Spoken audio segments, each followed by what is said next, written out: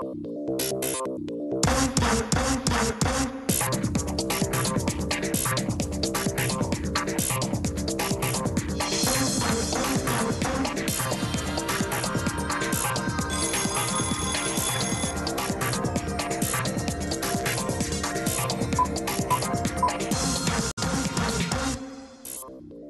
Честит празник на София, денят на вярата, надеждата и любовта. Честит имен ден на хилядите българи, които днес празнуват. Здравейте минути преди, минута преди 8 в ефира на Българската национална телевизия. Денят започва с мен Георги Любенов.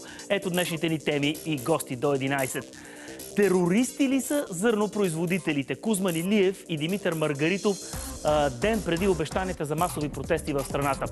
След водния ад по Южното Черноморие, истините, които трябва да се кажат на глас. Бившите министри Виолета Комитова и Емил Димитров Ревизоро ще бъдат при нас. С визия за София. Днес в студиото ще бъдат Васил Терзиев, кандидат кмет за София от Продължаваме промяната Демократична България и Георги Илиев, който е кандидат кмет за район Слатина в столицата. Сюжети в политиката и важните теми за държавата говори вице-президентът на страната Иляна Йотова. Новия театрален сезон на Александър Сано и Луиза Григорова и още днес завръщане към златните години на цирка една изложба, подредена от Драго Драганов. Ирина Цонева с пътешествие до далечна Колумбия и покана за електронното парти на Метрополис, което отново ще срещне феновете с Карал Кокс. Ето в тези сюжети ще може да се включите и вие в следващите 3 часа. Очакваме, разбира се, както винаги, коментарите ви, мненията ви, въпросите ви в социалните мрежи. Ще ни откриете във Facebook, Twitter или пък Instagram. 8 часа и 10 минути на 17 септември, в деня на вяра, надежда и любов. Всички още веднъж да поздравим, които днес ще празнуват а, този чудесен имен ден, чудесен празник на София. А, започваме по различни теми от а, седмицата. Най-важното, разбира се, това, което с интерес очакваме и наблюдаваме е заканата на зърнопроизводителите да протестират след понеделника и в останалите дни от седмицата. Двама анализатори са в нашото студио. Представям ви председателя на Съюза за стопанска инициатива Кузман Илиев, известен финансов и економически анализатор организатор. Добро утро. Здравейте, господин Илиев. Бившия зам економически министр Димитър Маргаритов също е при нас. Здравейте, господин Маргаритов. Добро утро. Сега много сериозни, много тежки думи. Повод зърнопроизводителите да се обидят. Вчера бяха изречени. Те осъдиха остро думите на премиера академик Денков. Терористи ли са зърнопроизводителите, господин Илиев? Със сигурност това е грешка на господин Денков. Така не бива да се говори. Аз не мисля, че той влага нещо а, много страшно в това. По-скоро а, за неговия начин на комуникация, това, което той чу от тях, а, го притесни и го накара да използва такава риторика. Истината е, че тези количества храни, зърно, слънчоглед и други притесняват нашите земеделци. Това е безспорен факт. Това са нови количества. Истината обаче, че ние трябва да се адаптираме, защото те ще минават насам. Когато а, стана в началото зърната сделка, количествата бяха насочени към Северна Африка, там където идват сега мигрантите, и към Близки изток не стигнаха обаче. Останаха в Европа. Даже се връщаха с спекулативни ходове и в Украина да се препродават. Това е голям проблем. Разбира се, нашите земеделци не са знали, че това ще се случи. То се случва. Истината обаче, че в една комплексна система като економиката има и печеливши от това нещо. Печеливши, разбира се, от това нещо са крайните потребители, тъй като има по-големи количества с тази висока инфлация на храните. Това е възможност за тях. За мен трябва да се намери някъде баланса, където да не сблъскваме земеделците, да речем, с преработвателите, да речем, примерно, както беше при олиото, защото ние за преработване имаме два пъти повече от това, което ние произвеждаме като капацитет. Ние пак трябва да внасяме, примерно. И ако не можем да внасяме нашите преработватели, пък от нашата българска система, нашите, нашите а, собствени бизнеси, ще ги направим на конкурент конкурентоспособни, те ще, фали, ще фалират спрямо западноевропейските, които ползват ефтината суровина. Нашите земеделци имат други проблеми. Огромните проблеми са, че те не могат да поливат, имат проблеми с собствеността на земята, че са неконкурентоспособни спрямо ние румънци. Това са системни неща, на които ние можем да влияем. Не можем да влияем на международната конъюнктура на цената на храните, да речем. Просто тя се влияе от други фактори. Господин Маргаритов, какво стои на кантара? Стачната готовност обявена за утре. А, наричат ги хора близки до определени политически изпълнители на определени политически поръчки. Богати хора с майбаси. От една страна това ли седи на кантара? Или желанието инфлацията, храните, цените да бъдат все пак намалени, потиснати, така че да, да има положителен ефект върху страната? какви са взаимоотношенията в тези среди, може би ще видим в следващите дни, защото става интересно, безспорно. Но тук бих искал да взема повод и от това, което каза господин Илиев. Ние виждаме, че отново е на лице този хроничен проблем на управлението в България в последните години, именно липсата на, на временен диалог с определени браншове, с определени економически среди. Е как да има диалог? А, Премиера и... казва на шантаж, няма да се поддадем, няма да има Това диалог. Това е защото от една страна ние имаме едно решение на правителството, което не останах с впечатление, че е било в режим на диалог поставено предварително. То просто беше анонсирано, такова ще бъде и оттам се получи и реакцията. Не, че аз защитавам тези хора. Разбира се, че те сигурно си имат своите основания, но според мен генезиса на проблема и на това, което утре предстои да се започне да се случва, се а, а, намира именно, именно там. А иначе в економически план, след като има и други държави от Европейския съюз, които реагираха остро по отношение на отмяната на тази забрана, пак казвам, вероятно този бизнес, независимо какви автомобили карат хората, които го управляват и така нататък, има своите основания и притеснения. От друга страна, наистина за потребителите най-добра ситуация би била тази, в която има максимално конкурентна среда във вътрешния пазар, защото ако видим индекса на потребителските цени за август месец, изнесен от Националния статистически институт, всъщност ще установим, че а, наред с добрите новини по отношение на инфлацията изобщо, т.е. тя вече е под 10%, 7,7% и така нататък, в индекса на потребителските цени се забелязва първо, че той е 13,9% като цяло, но ако извадим от микса най-важните стоки и услуги, които ползват потребителите, включително хляба и хлебните изделия, ще видим, че там нещата отиват към 20 и повече процента. Така че тук ами тогава, трябва да се намери този тогава... разумен баланс и затова казвам, че диалога е пътя, как, а не да се... Как изчисли так... Кирил Петков, че падането на, ембаргото на, на вноса на украинско зърно ще намали цените у нас? Той цитира месото, олиото и хляба. Ще падне ли хляба? Ето, кажете сега, ще падне ли хляба? Ами вижте, чисто пазарно, ако има по-конкурентна среда на пазара, би трябвало да се стигне до понижаване на цените. Това дали ще се случи, ние предстои да видим.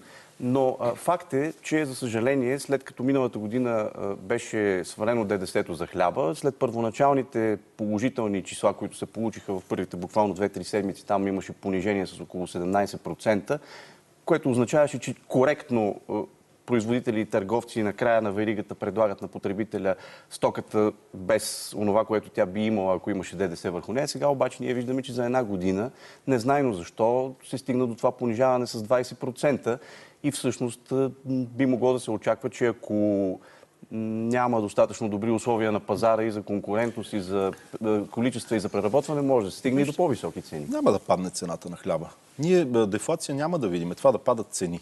Но и добри економически анализ, той е малко по-абстрактен. Той казва, ако има повече количества, то цената най-малкото няма да се покачва толкова, колкото би се покачил, ако ги няма тези количества. Това също е доза успокоение, тъй като ние гледаме, че инфлацията е малко под 8% и си казваме, ей, беше 20 чудесно, тя спада. Не, вижте, това, което всъщност се случва, е цените продължават да растат, но растат с по-бавен темп. И когато имаш една германска економика, която де-факто е в рецесия и 9-10 месеца не може да има положителен растеж, а това е мотора на европейската економика, който буквално е затлачен и ръмжи и нищо не може да направи, там при услугите, при индустрията, при бизнес активността има тотален мор. Това е в Германия. Когато това се случи, това ти е основен търговски партньор, ти трябва да си изключително много на штрек и да осъзнаваш, че се случва една сложна ситуация. Става стакфлация в един момент.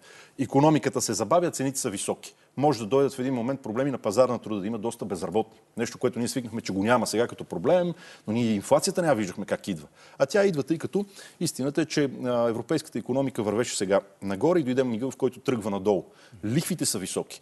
Фирмите взимат все по-трудно кредит, много по-скъпи, лихвите са много по-високи инвестициите почват да намаляват. Това е една нова среда, в която Европа някакси генерално, сега гледаме в Европейския парламент как има някаква атака срещу земеделските земи, генерално с 10% да се намалят заради биоразнообразието, ще има по-малко храни. Храните ще са по-скъпи. Война има и с азота, азота защото има глобално затопляне, което трябва да бъде борено. Да, да, азотните торове всъщност правят така, че има храна. Така че тук има един голям продоволствен проблем, който касае и не само нас, той касае Африка и Близки изток, както казах, и затова са тези мигрантски вълни ние трябва да произвеждаме храна и се възползваме от всяка една ситуация. В момента тази забрана е нещо като мито много високо на вносните стоки. То, Защо тогава? По вътрешно-политически ли причини Полша, Унгария и Словакия се Аз ще ви противопоставят? кажа поляците. Там излезе преди една година техния земеделски министр и каза спокойно цените на международните пазари на храните, например на, на слънчоглед, на пшеница ще са много високи, спокойно ще продавате добре, цените обаче моментно са ниски. И сега той се чуди какво да направи. Сега ние в тази ситуация не помагаме на нашите земеделци. Дори и да, тази забрана да остане, те цените продължават конъюнктурно, сравнително за сега, за техните очаквания, да са относително ниски. Но без да решаваме системните им проблеми и да ги правим по-конкурентно способни, спирайки просто вноса, удряйки крайния потребител, най-бедните са българите в Европейския съюз, не мисля, че това е решението за всички, което е добро. Наистина трябва да се намери сечение нещо много Да, по-стратегически. и правилно. вижте, тук трябва да добавим и нещо друго в контекста на макроекономическите показатели изцяло в Европейския съюз и конкретно в България. А, системните проблеми трябва наистина да бъдат основен приоритет на управляващите, а не това решаване или опит за решаване на някакви проблеми на парче или утре да видим как ще тръгне диалога, който вече е безвъзвратно закъснял, защото и числата показват, че индустриалното производство в България се забавя. От една година насам брутния вътрешен продукт върви надолу. Миналата година, юни месец, ако си спомняте, имаше една статистика на Евростат, че България е първа по ръст на индустриалното производство. Сега тази същата статистика отчита, че България е последна по ръст на индустриално производство в Европейския съюз. Тоест за една година вече се случиха някакви неща и тук тревогата, която изразява и господин Илиев е напълно основателна, защото ако допуснем, че процесите и в най-големите економики в Европейския съюз продължат със своята относително негативна тенденция, това означава, че тук ние трябва да вземем превентивно мерки, за да не се стигне до много рязък срив на тези криви, които сега все пак относително плавно вървят надолу. Тоест, важното нещо, с което би трябвало да се вземат управляващите, ако имат намерение по-дългосрочно да гледат на макроекономическите и микроекономическите ефекти по отношение и на економическите субекти, и на потребителите, трябва да бъдат наистина насочени към натрупаните с години, но нерешени проблеми и на земеделците, и на производителите, разбира се, в други сектори, защото ние отдавна говорим и за производителите на храни, и за търговците, ако щете, и на едро, и на дребно, и да се поставят там нещата, където не Разбира са се, да ви върна, уважаеми господа, към предстоящите протести, защото различни сектори в земеделието се обединяват, за да могат да протестират от утре и в следващите дни. Впрочем, във вторник се очаква и синдикатите, и КНСБ, и подкрепа също да излязат на протест. И в този смисъл, господин Илиев, бизнеса какво предпочита в момента да прави? Да притиска властта или да пази сглобката? М, Бизнесът не му е работа въобще да се занимава с политика. Той просто иска да работи. да Тоест, го между оставят да- протестите, между това напрежение, което се заражда в момента, как, каква е стратегия? Какво прави? Бизнеса, с- според мен, това, което трябва да прави, защото различни бизнеси постъпват по различен начин, е да се опитва да работи и да вижда наистина да диагностицира истинските проблеми на самия бизнес. Защото имайте предвид, че често пъти, за съжаление, бизнесът е употребен а, политически. Вижда се някакъв политически а, така, а, хоризонт, с който да речем, както ето сега, както става с земеделците. Техните проблеми са огромни. Ние трябва да си ги пазим наистина като зеницата на окото си, защото те ще бъдат ключови за изхранването на Европа. Но има наистина нюанси, в които някой, ако засили политически бизнеса се хлъзне по това, можем да направим много повече негативни неща, отколкото позитивни. Бизнес иска просто да работи, а не му се дава. Прави му се минимална работна заплата, която е несъобразена с реалностите регионалните, с която да речеме в определени региони той бива смазан. Ако искате само, с- само, да, само, ако искате само с да или не, може ли от а, тази крехка сглобка в момента да падне заради протестите, които предстоят? Да или не? Как мислите? Това е демокрацията. Ако стане, Може просто ли ще да дойдат нови. Възможно, е, Възможно разбира се, е да разбира, се, Възможно ли е да падне, господин Маргаритов? И няма нищо страшно, ако и ще дойдат нови и така. И Това зависи от това, с което вие започнахте разговора, дали всъщност някой стои зад тях или не стои зад тях. Аз не мога да преценя, тъй като нямам информация, но мога да кажа, че ако не се започне смислен диалог, защото вие казвате зърнопроизводителите, но това са земеделци изобщо, тъй като и решението за Украина касае не само, разбира се, зърнопроизводителите, там са включени други земеделски култури, изобщо процеси в земеделието, които засягат голям кръг лица в България. Тоест, ако този смислен диалог липсва, мисля, че управляващите и техните официални и неофициални поддръжници ги очакват не леки дни, поне до местните, а и може би след това избори. Уважаеми гости, каква е истината за инфлацията? Много пъти споменахте вече и проценти, дадохте пример господин Маргаритов. Слушам сега и бивши економически министр от служебното правителство, който казва, о, бензина става 4 лева със сигурност, ако Лукол спре да преработва руски петрол. А, какво става с бензина? Какво, с какво става с живота ни? Продължава ли да поскъпва живота ни? Разходите за живот а, растат. Може би не с тези бързи темпове, Ма които... нали имахме дефлация? Не, не, не. Забравете го това за дефлацията. Няма как да се случи. Това, че се, месец за месец някой някъде му се е мернал. Няма как а, да видим бензин отново, примерно, лев и 50. Или, ако да не се фокусираме върху бензина, няма как баничката, която вече струва по 3 лева, да видим на 50 стотинки никога. Забравете го, това е абсурд. А, няма да се случи. Инфлация защо има? Да го кажем много простичко на хората. От 2020 година до 2022 в периода февруари 2020, март 2022, Американски федерален резерв повиши парите с 40% в економиката. Това исторически, това, това, това беше шок, това беше взрив. Ето, парите са основното, което е големия проблем. Имаш енергийна много сериозна политика, по това да не произвеждаш енергия, енергията изхвърча. Имахме газов шок, имахме енергиен шок практически има война с ядрената енергетика. Това са причините цените да са много високи. Има малко производство, много пари. Всичко на микрониво са само допълнително пречки и бензин, който налива, така да се каже, още в огъня и пожара расте. Аз мисля, че наистина това, което се случва в Черно море, милитаризирането му ще тежи на горивата. Ако по права линия от, така, с корабите от Русия към България горивата са достигали ам, за ден и половина. Сега те ще достигат за 3 седмици, 4 седмици. Отгоре от Румъния през Гърция сухоземно не знам дали ще има достатъчно количества. Тоест това, което не искаме да има, да има количества и да са достъпна цена. Сега това, което виждаме е, че може би количествата няма да са достатъчно и цената ще, ще е висока. Аз очаквам да се стигне 3 лева, дори да мине, тъй като наистина предлагането, т.е. производството на нефт и горива е по-малко, цените на фьючерсите летят, виждате над 90 долара вече за барел. Имаме наистина една така неприятна, перфектна буря поли на горивата, така че на колонките над 3 лева абсолютно нормално според мен. Е, ще я да кажа гоня 3 лева, но вие вече казвате над 3 лева. Мисля, да, вече да не казвам, да. бившия министр Никола Стоянов говори за 4 лева, че ще стане. А, Едно е сигурно. Какво стана с компенс... Нали имаше 25 стотинки, нали имаше мерки, нали имаше компенс... Никой не говори вече за това. Едно е сигурно. Първо, че ако цените на горивата се повишават, това няма да е защото Никола Стоянов вече не е министър, както и че ако са били относително ниски, това не е било, защото Никола Стоянов е бил министър. Това е единственото сигурно нещо.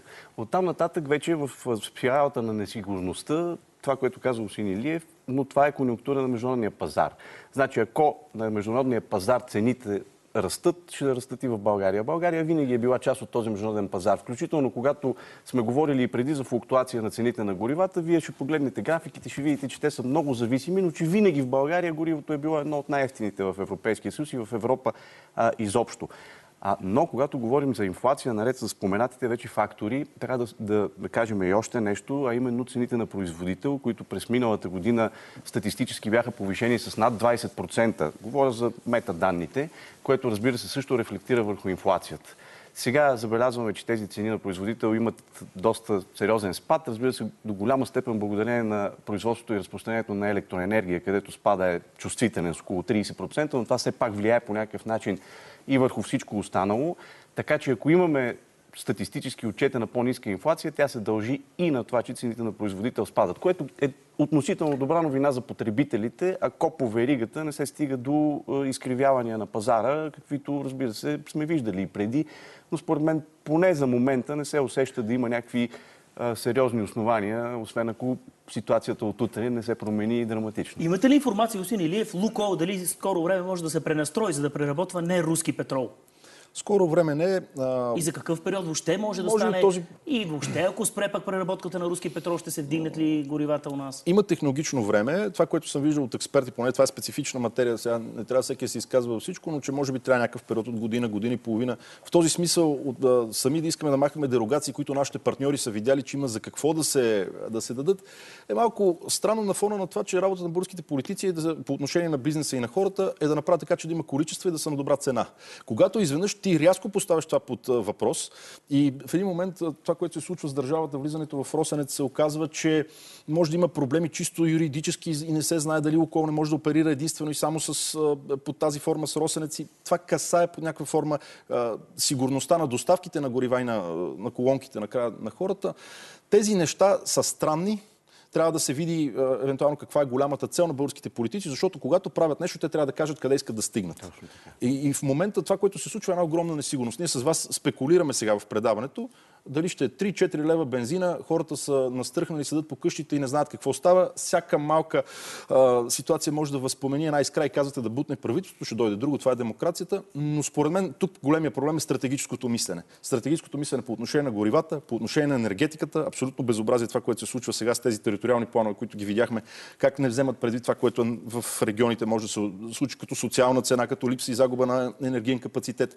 Вместо да използваме новите възможности, веите, лавене на въглероден диоксид, да си обогатяваме микса, ние разрушаваме това, което имаме за жълти стотинки на фона на това, което губиме като собствен капацитет. И не осъзнаваме, че света се електрифицира. Ние след 10 на години само ще трябва да караме електрически коли, за които ни трябват зарядни станции, за които ни трябват а, въглишни или газови, забележете, като преходно гориво централи, които да балансират веитата, които на определени моменти са на много ниска цена, в други моменти са на фамозна цена с 5-6 пъти в рамките на един ден. Нямаш тези батерии. България буквално в момента не мисли стратегически за важните неща, а нашата индустрия зависи изключително много от нашата енергийна сигурност и енергиен суверенитет. Просто ние трябва да имаме способността във всеки момент, ако нашите партньори тук в региона си изключат износа към нас, както стана 2017, да можем да реагираме. В момента това, което се случва е точно обратното и за мен тези политически игрички, дребнички, днеска кой е на власт, утре в каква сглобка и така нататък, просто са абсолютно нищожни на фона оцеляването на България. А, като казахте сглобка, се изкушавам да ви попитам политически въпрос. Знаете ли нещо повече за ролята на Алексей Петров в сглобката? Знаете ли за срещата в манастира? Знаете ли какво е свършил той наистина? На мен... И ако ви е болезнена не, тази... Ако не, ви е... Темата е болезнена от гледна точка чисто човеш, човешки аспект. Това става дума за убийство на човек и в този смисъл. Но политическия смисъл за мен е обидно, за здравия разум, да си мислим, че на хора като Асен Василев, Кирил Петков, Борисов, някой като доцент Петров, може до такава степен да им влезе в мозъка и да им взима решенията вместо тях, че днес те да се оправдават с него, като него днеска го няма и той не може да се защити. Или те са неподготвени, или са изключително неморални. Няма друг вариант. И това говори много лошо за тях. Така че наистина аз ги приканвам повече да не се оправдават с човек, който го няма и който честно от това, което аз съм виждал, никога не е парадирал с някакво такова влияние. И пак ви казвам, тези хора а, с това, което правят всеки ден ни доказват на нас като публика, че въобще един от друг не се интересуват и не уважават. Играят си техните си игри. Представете ли си как някой пък на тях може да им казва тук в колонка се нареждате и правите това и това. Но е много лесно обяснението. Малко, малко е обидно обаче за интелектуалните им способности или за морал им. Едно от двете, не знам кое.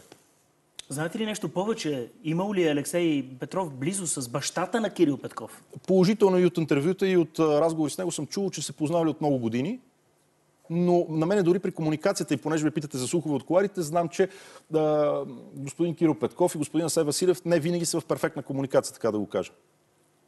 Тоест посредника там е бащата на Кирил Петков. За мен това, тази история с посредника е изключително дъвка за българския народ, за да той да не гледа как в момента горивата изхвърчат, как поскъпва живота му феноменално с по 23-4% храните на година, за това, че стратегически самоубиваме, че имаме уникална демографска криза. Това, което съм чувал конкретно от господин Петров е, че трябва да има някаква яснота политическа и когато някой не се справи да дойде следващия, а не да виждаме коалиция, която се оформя вече многократно пред очите ни и те постоянно заради лични проблеми не искат да, да я случат. Само това съм чувал. Да, вижте, тук се получава наистина едно, като че ли изместване на основния проблем в управлението на държавата през призмата на това, че се използва спекулативно и ролята на един човек, който вече не може да обясни, ако би могъл да бъде попитан каква е тази негова роля, но същевременно ние виждаме изключително интересна конфигурация, която декларира и прокламира, че е водена в своето събиране единствено от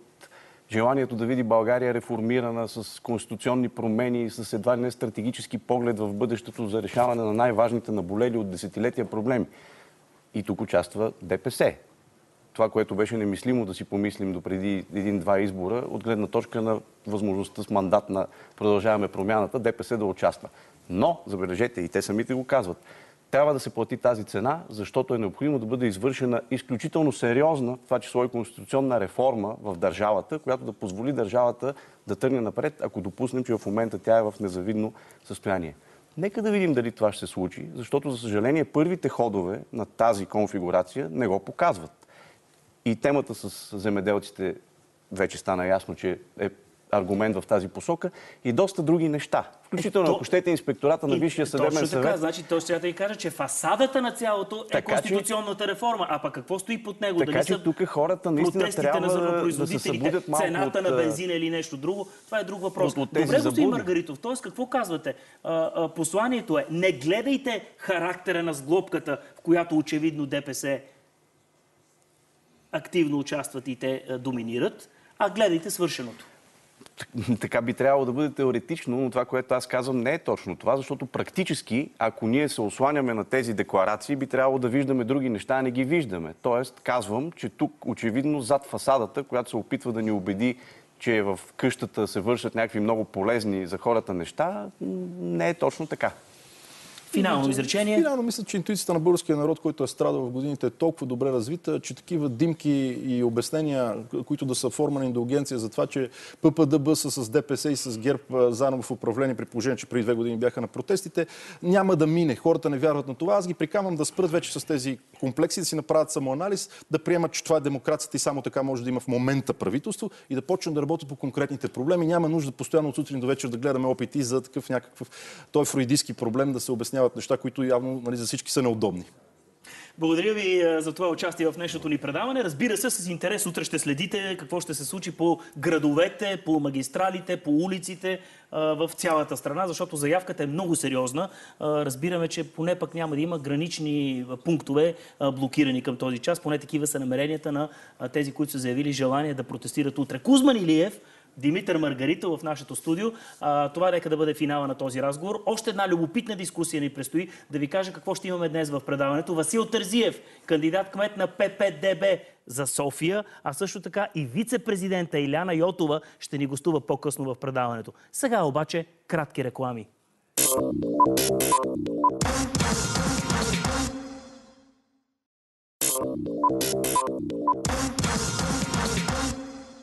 Сигурен съм, уважаеми зрители, че ни предстои много интересен разговор в следващите минути, защото, в следващите минути, защото двама министри, бивши министри са ни на гости а, на благоустройството, архитект Комитова, Виолета Комитова. Здравейте, госпожо Комитова. Здравейте, Добро господин утро, Любенов. добре Добро дошли утро, при нас. драго ми е да ви видя. Аз също така се радвам, че сте при нас. Емил Димитров, кой не познава ревизоро, бившия екоминистър. Добро утро и на вас. А, сега да започнем, уважаеми гости, от най-актуалното, това, което утре се очаква. Наистина някои с, с притеснение очакват протеста на зърнопроизводителите. Само, че едни ги наричат а, Терористи. терористи, други шайка мошенници, трети отрудени хора, четвърти богаташи с майбаси и с скъпи коли. Какви са тия хора, господин Димитров? Щом са против правителството и решенията взети от мъдрото ръководство на Народното събрание, значи са путинисти. Няма начин дългата ръка на Путин да не ги командва и те да предприемат тези действия. Проблемът е, че в момента, в който ми кажат, че Вие са се, сега, терористи... не, не, извинявайте, вие се шегувате и го иронизирате, обаче, да. обаче много хора казаха, това не може да, не, да няма руски интереси. Съгласен значи, съм. щом там са Възраждане, БСП и, и какво беше, има такъв народ, значи те ги подкрепят. Има Значи, такова. Дори сега в момента в разговора стигнахме до това, че този ресор от националното стопанство са терористи и путинисти. Вие представяте ли си колко години сме допуснали е, дългата ръка на Путин и на, може би, на Обама, или знам не кой, щом са терористи, да ни изхранва? Вие с кои очи утре ще отидат на разговори с те? Аз от сутринта до вечерта казвам, че вие сте терорист и путинист, а на други ден ви се обажим и кажа, може ли да дойдеш да поговориме нещо? Е, как, как да си говориме, Е, като ти си обидени са, отрязал всичко? достатъчно обидени са производителите, че да не приемат разговори за сега. Въпросът е тия намерения докъде ще стигнат техните.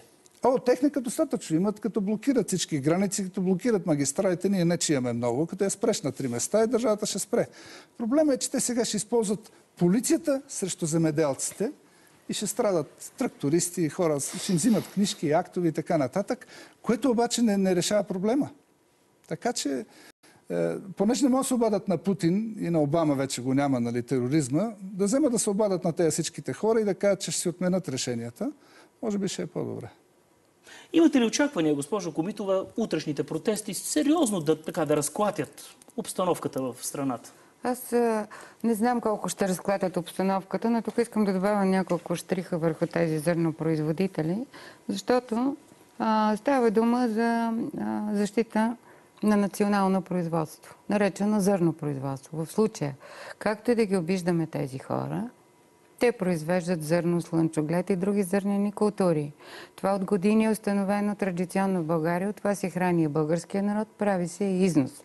И сега, ясно е, че вноса заплашва техните економически интереси, още повече, че има съмнение, че вноса на украинско зърно, зърното не е с много добри качества, в смисъл да го употребяваме като... Ма това доказано ли е? Много хора питат сега, безвредно ли е, опасно ли е? Това доказано ли е? Аз не съм видяла доказателство, но ще ви кажа, че там, където, това съм го говорила в други студия, където се води война, се стига до радиоактивни замърсявания на почвата, на въздуха и на водите.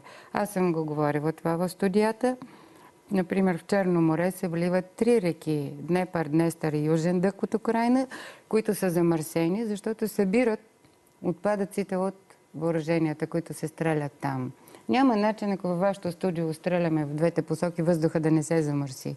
Това е задължително. Оттам предполагам, че има замърсяване и на водата, и на почвата, и на продукцията. Не разполагам, разбира се, с доказателства. Но в този конфликт с зърното аз виждам няколко плана. Първо, нашето редовно правителство не се съгласява с земеделския си министър. Земеделският министър е на различна позиция. Виждам също така и втория план. Държави в Европейския съюз също не допускат внос, като Полша и прочие. Следователно, те се противопоставят.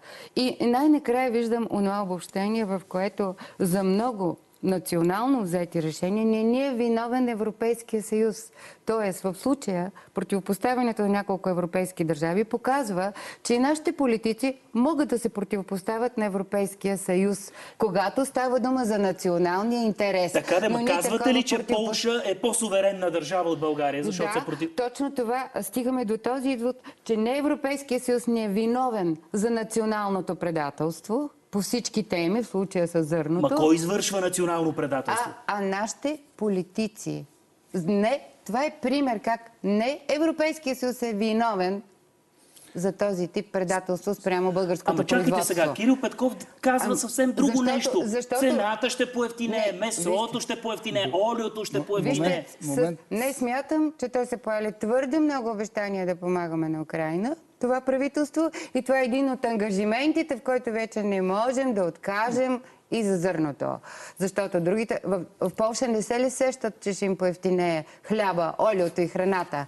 Ние ли сме тук най-умните? Затова ви да отговарям. Много примери има в нашето управление, които показват, че не са ни виновни европейските политици, а нашите вътрешни решения. И това, за съжаление, има най-страшния ефект. Това отблъсква българските граждани от Европейския съюз. Това почва да ни връща към миналото. Това казва, защото сме в Европейския съюз, затова така си случват нещата. Това е страшен порок на нашето управление. Същото е в другата не, тема. е, извинете, вие казахте Полша. Да, Полша е страната, която най-много подкрепя Украина и е най-много против Русия. И въпреки това предприема действия срещу Украина. Значи се притеснява и от качеството на зърното, и от състоянието, което ще се реализира после като конкуренция на пазара. А иначе не може да, да бъде обвинена Полша, че не помага. Цялото оръжие оттам минава, държат огромно количество бежанци при себе си, но ето те си устояват национална Добре, интерес. но както сам каза казахте, принципа на демокрацията, господин Димитров. Сега тъмън да заработи тази сглобка, айде веднага сега протести, ще събаряме а, властта. Защо? Не, не, А, а, много хора, Ама а- дайте да мине ротацията, да видим па ще стане ли нещо с ротацията. Дайте да видим сега другата седмица конституционни. Нали? Това е ореола на кабинета са конституционните промени и реформа. Ще ви дам пример с БСП, защото ми е лесно, а и няма човек от БСП, така че спокойно мога да говоря. Ами, то, то, то, то, така не се прави. Няма да говорим зад гърба на преди другите години, хора. преди години, не, не, в кръга на шегата го казвам, не искам да обидя никой. Преди години имаше проблеми там БСП, трябваше да сменява ръководството, имаше конгрес в София и аз пътувам с един бивш кмет на град Роман Миковски, към... си пътуваме след това. Той беше на конгрес. Аз казвам, какво става, сменихте ли го? Той каза, не бе, те казаха, че сега е рано. И аз викам, господин Миковски, е, това ви е проблема. Минат изборите, те казват, давай оставки, те казват, сега е рано, трябва да се направи анализ. Мина още малко време, кажеш, няма ли нещо пред... А, късно е, предстоят избори. Или им е рано, или им е късно, никога не им е време. Сега, дали преди ротацията, дали след ротацията, много хора не харесват това, което се случва. Тези, които са в сглобката, пък много им харесва. Проблема е на интереси. Дали няма да стане снежна топка, една лавина, едната стачка да води до друга стачка, тя да води до трета стачка. Така че сега целият ресурс ще бъде впрегнат към снежната топка да не се прибавят нови. Количества, Да. за да не стане тази вълна. А, Уважаеми гости а, и уважаеми зрители, знаете, че а, и госпожа Комитова и господин Димитров са експерти тъкмо по екология, по благоустройство, по строителство. А, Едно нещастие, един природен катаклизъм, за това е нещастие, защото той е неочакван. Никой не може да го прогнозира и да знае кога точно колко ще вали, коя язовирна стена ще се спука и какво ще залее. Огромна трагедия в Царево и въобще по Южното Черноморие нещастието, което заля България, природата, която си отмъсти, или човешката дейност, която я до- до- донесе. А, усмихам се, защото малко не ви вярвам на думите, а не, че се радвам на това, което се е случило или на жертвите, които са там. Не най-малко. Съчувствам им на хората, даже леко се отърваха. Леко се отърваха на това, което е. Но да ми кажете, не знаеме коя стена. Знаеме коя стена, с какъв изпускател, колко литра. Едната е 400 литра, едната е 700 в секунда. Така че знаем, че изпускателите са слаби. И не трябва да се държи язовира пълен. После, знаеме, че трябва да има преливници, които да поемат цялата вълна, тя е изчислена на 100 годишна вълна, и да отидат в морето по едни почистени дерета. Сега, това, което аз видях по телевизията, че водата е вървяла през стената, а не е вървяла през преливник. Значи, някой не е спускал на време язовира, някой не е държал обем по-нисък, за да поеме поне началната част на водата. И когато е започвал да прелива, къде е отишла водата, те е нанесла толкова щети. А не сега да казваш, аз си държа язовира за час пром тук да го давам да гледаме риба, обаче ако нещо стане с язовира, къде е държавата да ми го ремонтира? Чакай, държавата, нали ти щеше сам, нали на общината, нали е ваша собственост? Защо има ни такива големи корени? Защо е преливало през стената, а не през преливника? Всичко това нещо се трябва да се скрие, за да може от държавата някой да вземе ни големи пари, да се направи предизборна кампания. Там се е знаело, че тези язовири имат проблем. И е имало предписание да се изчисти и самата стена и след нея. Ще кажа защо, за да не отнемам от времето на професор Комитова. Деретата се чистят, за да може водата да стигне и да не препречва мостове и да прави допълнително тапи и заливания. А стената се чисти, за да можеш да видиш, ако има някъде пропиване вода, ако има нещо да мине, то се озеленява. Веднага виждаш, че оттам минава. Когато е една гора, ти какво да видиш, докато не протече? Вие видяхте ли какви корени има в тази стена, когато сега тя се е обрушила? Там е, трябва да се разруши, да се сложи един голям изпускател, но ново да се направи един преливник и се изгради стена. Всичко друго ще са временни палиативни мерки. Ако мога и аз да се включа, вижте, ние имаме един дъжд с по-голямо количество. Количеството още не е доказано. А, в много медии казаха 300 литра нали, на квадратен метър, обаче аз не съм чула бан да излезе и да каже къде са измервателните станции, защото то се измерва в измервателна станция, не като го гледаме така на око. И е доста спорно това количество. Но така или иначе дъждът си беше много. Почти всяка година в септември се случва този дъжд в това Южно Черноморие, което аз много добре познавам. Но освен природното явление, по-голямо количество дъжд, имаме четири човешки дейности, които са допринесли, допринесаха за това нещастие. Първата човешка дейност, че не сме си гледали добре работата с язовирите, както обясни тук колегата. Така. Да. Второто. Имало е предписание, между другото, На басейнова дирекция, на. Не на басейнова, на Държавната агенция за метеорологичен и технически контрол. Стената да бъде почистена. От 22 юни тази година. Така. Втората човешка дейност, която ние сме извършили в Царево, се застроява там всички сухи дерета, които елиминираха възможностите водата да се разпредели в повече потоци, да не се образува вълна. Третото нещо, което не се прави, не се чистят реките, което също намалява възможността водата да се оттича. И не на последно нещо е без, безогледната сеч в планината Странджа. Тази сеч в Странджа, за която много пъти е говорено и в други предавания и при вас, тя не се, според мен не се контролира, тя обезлесява планината и превръща в пустиня. Всички, а в същото време не виждаме, виждаме липса на човешка дейност, залесяване, например, на Странджа. Нямам нищо против да се чисти гората, но ние не виждаме обратното действие, залесяване. Ние не виждаме е, природозащитниците къде са по тази тема. Ние не виждаме грижата Добре, на и като държавата. натрупате, госпожо Комитова, тези... значи, като натрупате незаконната сеч, неподдръжката на язовирните стени, Едно- непочистването на деретата, непочистването на реките, неподдръжката на мостовете, като, И- като натрупате всичко това, Край. резултата е човешки жертви Точно обаче. това е. Днеска ние трябва да поднасяме съболезнования на, на близките на загиналите човешките жертви, за да пази Господ. И второ да даваме кораж на хората, които трябва да възстановят щетите от това страхотно бедствие, което се държи в повече по-голямата си част на човешка дейност, на лошо управление. Защото, аз ви казвам, ние не може през всеки дъжд да даваме жертви. Мизия, вижте, Бисер 2013 Ма година. Бисер, Мизия, Спарухово. Бисер 2013 за лято от язовир, 2014 Мизия за, за лято от язовира, Спарухово. До кога ще се заливаме с тези язовири? Как другите държави се оправят с техните язовири? Къде, а ние не можем да се справим. Това е отвратително състояние на нещата, което се дъл- дължи на лошо управление. И ще направя връзка с националното предателство. Изсичането на българските гори, господин Любенов, в Странджа аз го виждам всеки ден, а, не ни е казано, за него не е виновен нито Путин, нито Байден, нито Европейския съюз. Това е чисто българска вътрешна политика, безотговорна политика в полза на концесионерите на гората, защото те са с толкова дългосрочни договори, че все едно са на концесия. Тоест, ние сами си съсипваме даденост, която Господ ни е дал, а, а хората, които виждат това лошо състояние с изсичането, мислят, ето, откакто сме в Европейския съюз, става така, изсичат се горите. Ето, затова ни е виновен Европейския съюз.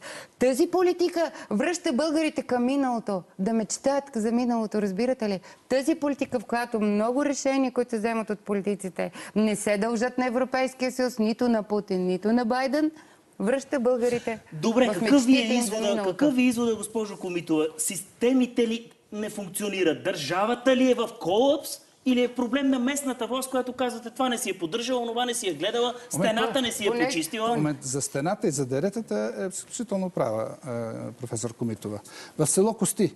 В село Кости е имало вече такъв проблем и те са направили едно много хубаво бетонно корито, заустили се ръката.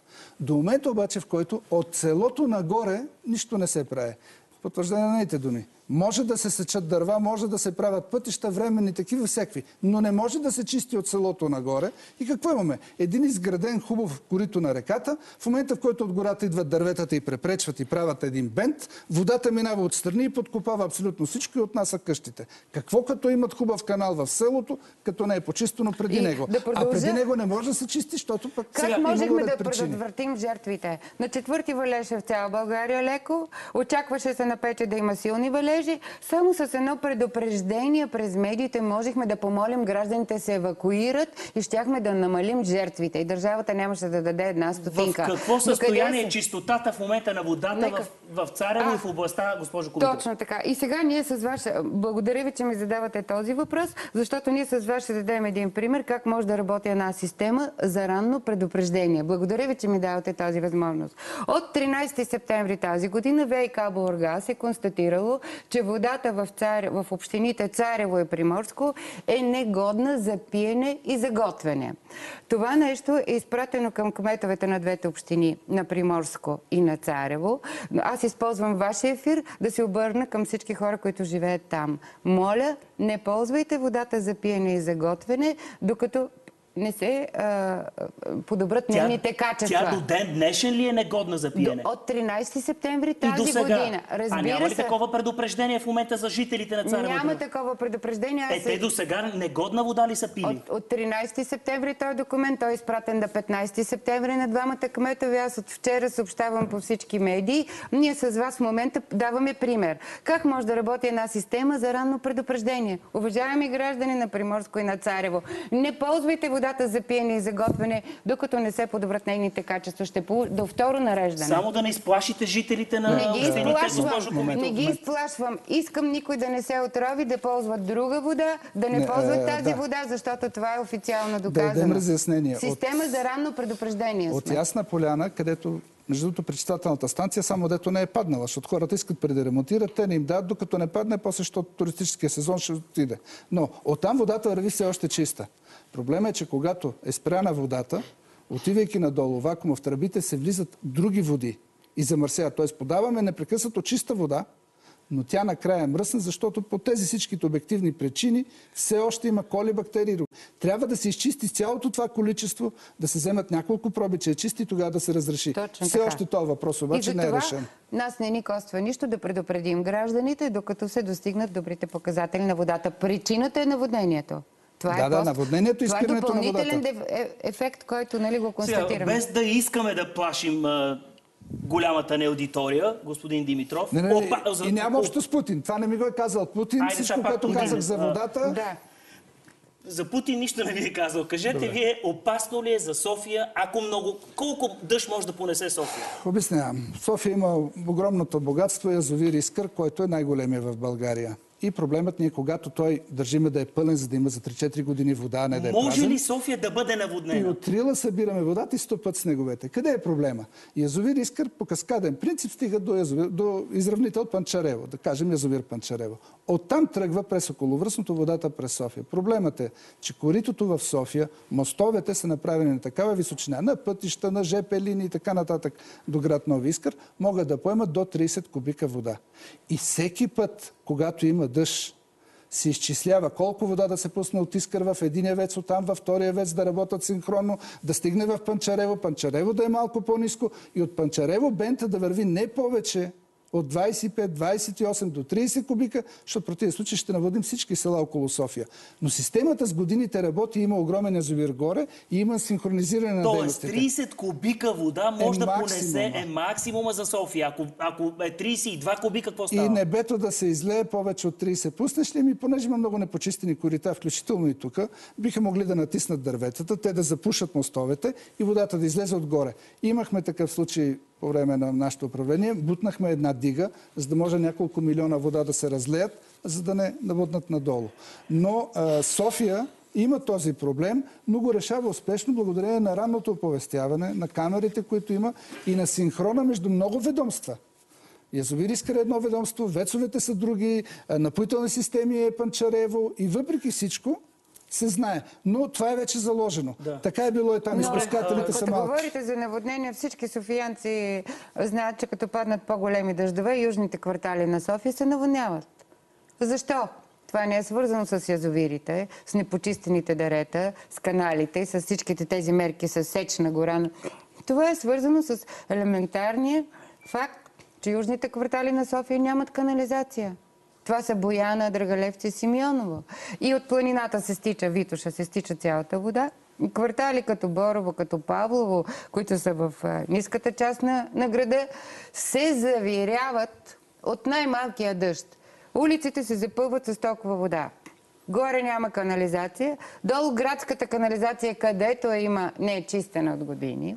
И естествено тя почва да става с по-малка пропускателна способност. И най-накрая ние от един елементарен дъжд в южната част на София се наводняваме от всякъде. Добре, уважаеми гости, време е да приключим. В нашето студио вече е Васил Терзиев. Господин Терзиев, който е кандидат кмета на ППДБ за София. Разговорът ще бъде със сигурност интересен. А, имате ли очаквания от местните избори? Как да нямате, госпожо Комитова? Интересни избори. Кое Да. ще победи? Промяната или статуквото? Как мислите? А, не мога да давам прогнози, кое Не, ще... не, вие като интерес, интересни ли са ви местните избори? Да, много са ми интересни местните избори и смятам, че ще победи човека, който е прагматик и може да дава решения за проблемите на София.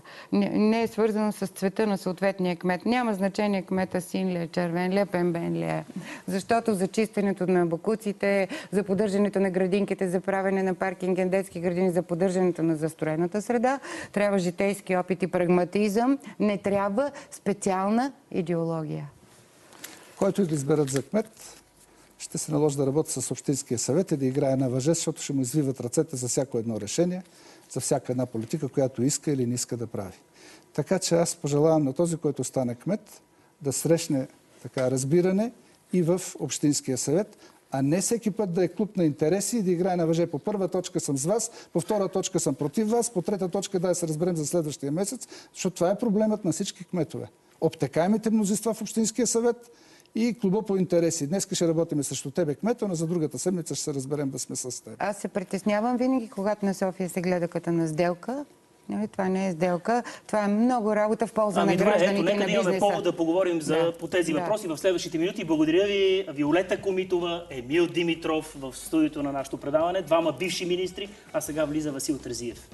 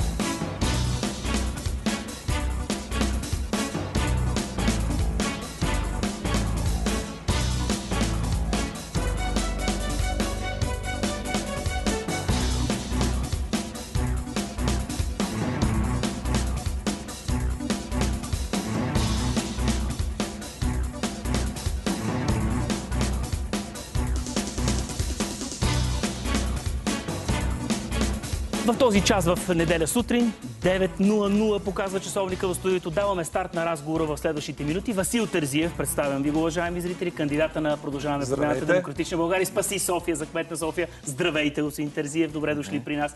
Георги Илиев, той пък е сега действащия кмет на район Слатина и продължава да бъде, ако разбира се, жителите на Слатина, на Геомилев и на въобще на цялата, целия район и на цялата общност там го изберат за кой мандат ще ви е? Втори ще, Ще ми е и този. бъде втори. Да, Добре. За сега само това ми е първия, все още не е приключил. Точно така. На финала на първия мандат. Здравейте, господин Илиев. Добре дошли и вие в нашото студио. А, честит празник Честит първо днес. празник. Искате ли да поздравите по специален начин милиони и половина софианци сега? На милиони и половина софиянци искам да им пожелая да са живи, здрави и да има много повече вяра, надежда и любов в живота на всеки един от тях, да си обичаме града, да го направим по-хубав, да работим за това да сме една общност, защото това е бъдещето. Това е пътят към това да имаме хубаво място за живеене, което всички обичаме и надграждаме с нашите усилия. Друга, да, друга реч ли щяхте да имате, ако бяхте кмет, сигурно? Някаква по-специална кметска реч? Няко... Или следващия 17 септември? Да видим дали, Следващия 17 да видим дали ще стане обаче следващия 17 септември. Аз искам само да кажа на всички наши съграждани, че нашия град е кръстен на а, светата премъдрост Божия. И всъщност ние трябва да бъдем, освен всичко останало, освен вяра, надежда и любов, трябва да имаме и мъдрост. И тази мъдрост се надявам в следващия мандат да бъде прилагана и в управлението на града.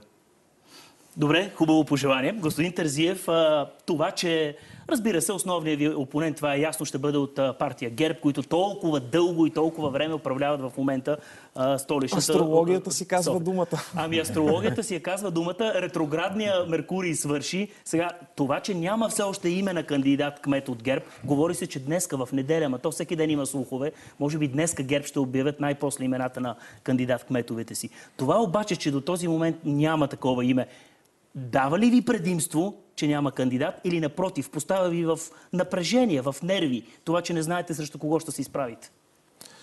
Кандидатът няма значение. Нас борбата ни е срещу модела на, на управление. А, ние започнахме кампания доста по-рано, на терен сме. Имахме възможност последните месеци да се видим с а, хора от всички райони, да слушаме какви са им проблемите, да поработим а, усилено по нашата програма с нашите партньори.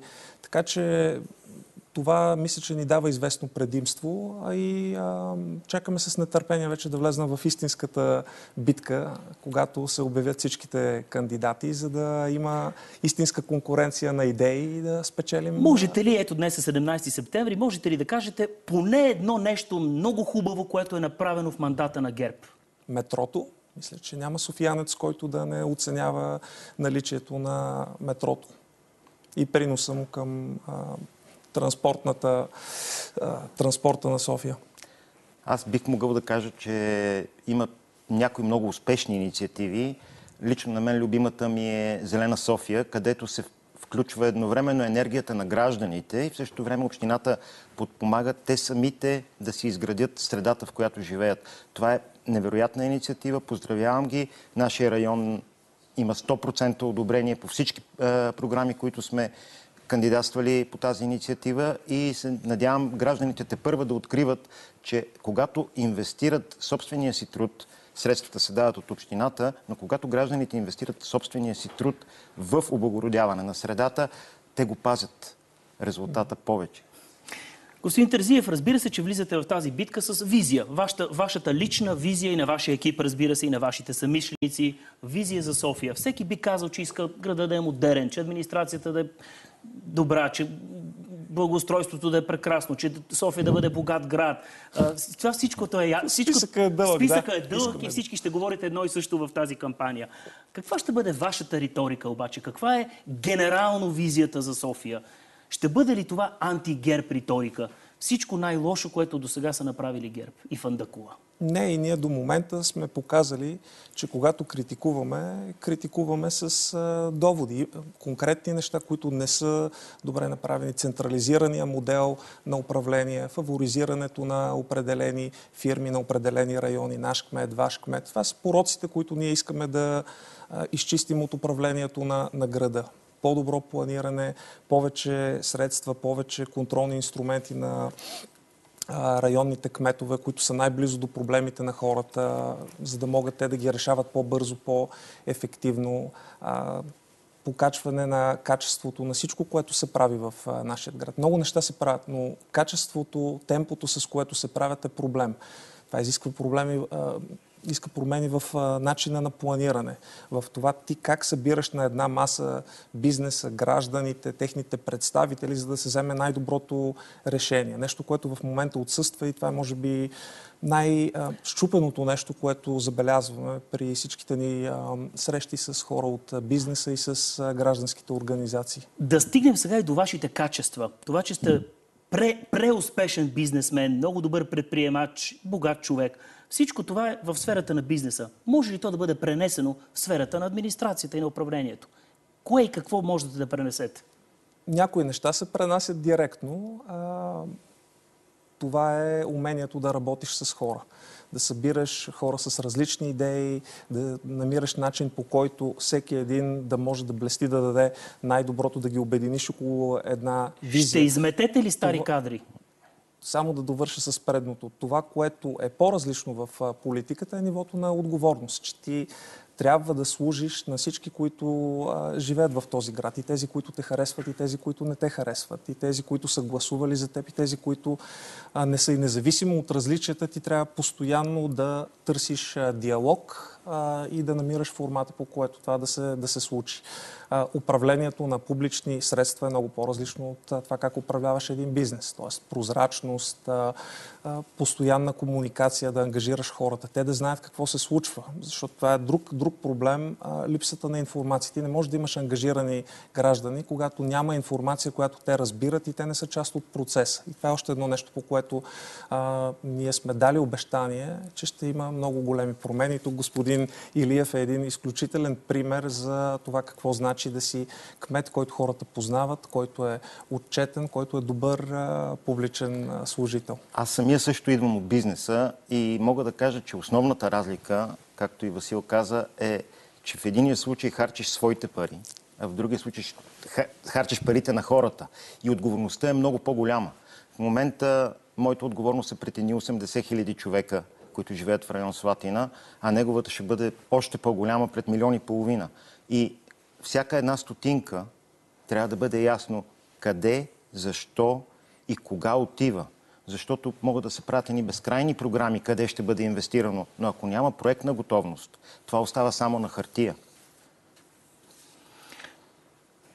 Чухте вече коментарите, господин Терзиев, че зад вашата кандидатура а, стоят много по-дълбоки и по-дългосрочни планове и интереси. Седат ли поне във вашата глава такива За планове? моята кандидатура се чуват всеки дневно много работи. Това, което ни е фокус на нас, Чухте ли за трамплина от, от кмет на София към премьер? Чухте ли този трамплин? премьер, президент, председател на Европейската комисия, има, има кариерен път. А стигнахте и до председател на Европейската комисия. се. Това, което има значение за нас е да продължим с подготовката за изборите, да си направим една добра кампания, да убедим софиянци, че имаме какво да предложим позитивно, градивно, връщайки се към вашият въпрос преди малко. Не искаме да строим. Не искаме по-бързо, по-качествено, повече неща да се, да се случват в а, нашия град. Да. А, ако все пак, за да ви върна, да, да отговорите и на този въпрос, а, коментирано ли е това, спекулация ли е, коментар ли е, интрига ли е? Това, това че, това, че нещо- от вас става бъдещ премьер. Това интрига ли е? Това всичко са в а, сферата на възможностите, но първата и най-важна стъпка е да спечелим убедително на 29 октомври. Да имаме кмет, много качествени хора за районни кметове, да имаме мнозинство в Общинския съвет, за да можем всичките тези политики, които искаме да реализираме, да имаме инструментите. И вече всички ние, целият този огромен отбор от хора, показвайки, че може да управлява качествено, че има връзка между обещанията и това какво се е случило, тогава вече може да водим отново разговора след някоя друга година, какво би могло да стане. На трябва- къде да продължи къде пътя? Да продължим. Сега, тук е ясно защо ви питам. Борисов, Бойко Борисов, знаете как стартира политическата си кариера. Не, не беше ли като кмет на Е София? така, но госпожа Фандъкова няма, Не продължи не премиер, продължи да. към премьер. Така, а, по тази тема, тя е твърде, разбира се, интересна с конфигурациите, които стоят и, и начина по който ви подкрепят. Сега, а, питат ли ви хората по човешки начин, защо един богат, успял човек може да живее навсякъде по света, може да прави каквото иска по света? Защо му е да се занимава с... Защо трябва да решава проблеми, които вие виждате, че те половината са нерешими, сигурно? Питат ме, питат ме всички приятели, партньори, хора, които ме срещат на, на улицата. Аз много пъти съм го казвал и то не е сега в предизборната кампания за първи път. Години наред с всички млади предприемачи, с които съм работил, съм казвал едно нещо. Успелите хора в тяхната си област, бизнес, култура, наука, те трябва, колкото са по-успели, да имат отговорност да връщат на обществото, да имат грижа за тези, които идват след тях, да разберат, че техният успех не е толкова ценен, ако това не се прелее в а, неща, които дават по-добър път на, на обществото. И това е причината да се хвана с тази нелека задача, да си излезна от зоната на, на комфорт, на добре подредения живот, а, като инвеститор, като предприемач, но, но да ви кажа, не съжалявам.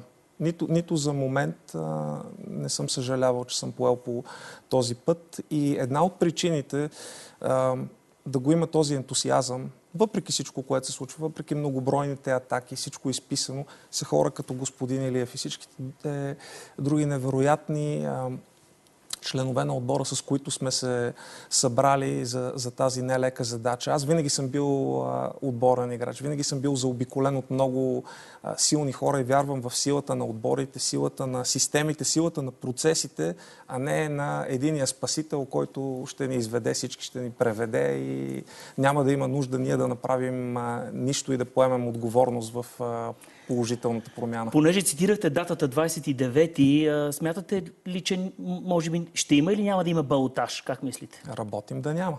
Работите да няма. А ако има на другата, в другата неделя, с кого бихте искали да сте на балотаж? С най-достойният втори кандидат. Дали ще бъде от ГЕРБ или Ваня, или Ваня Григорова? Няма значение. Най-важното, е да, най-важното е да има хубав сблъсък на, на идеи, а не на отричане. Това е нещо, което мен изключително тъжно ми е като гражданин, че при нас всичко се гради на отричането, а не на надграждането. И аз като гражданин съм искал да видя сблъсък на хубави идеи, на, на визия, а не просто да отричаме, че някой не ставал, нямал опит, нямал това, нямал онова, което не, не помага за, за това да предложим нещо по-ново на софианци. А имате ли някакъв разгромителен сценарий, при който ще имате проблеми с отиването на балотаж? Или, или това е невъзможно? Не работим по такива сценарии. Това зависи от гражданите. Зависи от гражданите. Много е важно хората да си дадат сметка, че имаме нужда не само от много голяма визия, а и практически опит. И затова сме ние хората, които имат този опит в екипа на господин Терзиев. Тези, които могат да му кажат как, по какъв ред могат да се случат нещата по-бързо, по-качествено и по-ефтино. Защото това са трите големи фактора в решаването на градските проблеми. Уважаеми зрители, ако искате да, и, най-вече софианци в този случай, ако искате да оцените кандидатурата на Васил Терзиев, ако искате да го попитате нещо, ако искате да коментирате или да задавате въпросите си, направете го това на нашата фейсбук страница. Да си дойдем в следващите минути, може би на темата, която целокупната аудитория очаква господин Терзиев. Разбира се, че всяко едно интервю няма да ви подмине а, тази тема. И вие знаете много добре за какво говоря. Притеснявате ли се, че тази тема ще ви съпътства до последния ден? Тя си е ежедневие. И как ще преодолеете? С фокус върху важните неща. Върху това какво ще направим за града и чисто лично какво аз съм постигнал, какво аз съм направил, какво аз съм дал на обществото до момента, какво мога да дам за в бъдеще. Тоест призива е оставете миналото, оставете родителите, оставете дядовците. Децата ми преди време ме питаха, тате, как да разсъждаваме за бъдещето, настоящето и миналото. И аз се замислих малко и пробвах да им го обясня така. Най-важен е днешния ден, тъй като това е единственото нещо, което имаш. Но за да е пълноценен, трябва да знаеш на къде си тръгнал. Трябва да помислиш колкото се можеш по-напред в бъдещето, да имаш някаква отправна точка, да имаш някакви принципи за това как смяташ да я постигнеш, а, за да имаш филтър, кое решение работи, кое не. Тогава следващата ти стъпка тя не е хаотична, тя има посока. И за да го изминеш най-краткия път, вече трябва да се върнеш към миналото. Миналото е източник на уроци, но за да бъде източник на уроци, ти трябва да си го прочел честно, за да, за да можеш ти да го използваш като една библиотека с а, неща, които не трябва да се, да, да се повтарят. Но най-важното нещо е ти да знаеш къде си днес и да имаш посока за, за бъдещето. Не да отричаш миналото, да го използваш просто като източник на а, направени грешки, които ти да не повтаряш. Вчера в нашето студио ваши почитатели, хора, които ви подкрепят в кампаниите, които декларират, че ще гласуват и че ви харесват, че ще гласуват за вас, казват едно. За да стане това обаче, очакваме ясно позициониране на Васил Тързиев. Много неубедително говори по отношение на службите. Защо беше това изречение да окачествявате част от репресивния апарат на държавна сигурност като добри? Кои от лошите са добри? Разяснете сега на аудиторията. Мисля, че това не е тема, по която аз мога да дам най-добрите разяснения. Има хубави книги, написани по, по темата. Не мисля, че печелим с тази полемика. Моят фокус са проблемите на, на града. Аз нямам обвързано с никакви служби, никакви куфарчета. Независим човек съм. Аз искам да, да, да, да строя. Това е което мога да, да, да ви кажа по, по тази тема. Както вие казахте, тя няма да, да изчезне. Защо досиетата на родителите ви не могат да бъдат отворени? Защото това не е в моите правомощия. Като наследник не можете ли да направите постъпки за това пред комисията? Те са живи. И се надявам да бъдат живи още доста, доста години. Uh, господин Илиев, да помогнете и вие в тази трудна и сложна тема, особено за избирателите на Демократична България. Знаете колко чувствителни са към темата служби, репресивен апарат, комунистически режим. Има... Знаете колко са да. ревниви Това е една и огромна, вашите една огромна рана в нашето общество. Тя трябва да бъде излекувана и единственият начин, според мен, по който може да бъде излекувана е а, наистина с честен, откровен разговор и наистина да се знае кой какво реално е направил, за да може да се отсъди хората самите, обществото да отсъди дали това а, е нанесло щета някаква на обществото. Със сигурност има страшно много хора, които са загубили бъдещето си благодарение на това. Всеки, който има такива членове, аз също имам хора, които са били в Беляне а, от семейството. Просто раната е голяма, но наистина, за да продължим напред, трябва да се концентрираме върху това каквото, какво правим сега и как излизаме от тази ситуация на а, болка. Защото според мен трябва да мине още малко време, за да можем безпристрастно да отсъдим за това, което се е случило. Добре, това се случва в момента ама, в нали, Германия. Вие, вие го казвате по, по най-човешкия начин. А, семейство с болка. Да. Вие имате пострадали от белене е. роднини. Или, да. или роднини, да. От родословието, да. да.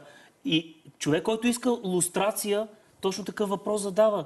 Откъде, откъде са получили те тази несправедлива съдба? Е, Тъкмо от, хора, от хора от репресивния апарат. Так, как, Системата как, е била как сте, такава. Как сте заедно в това искане за лустрация? Как сте заедно сега?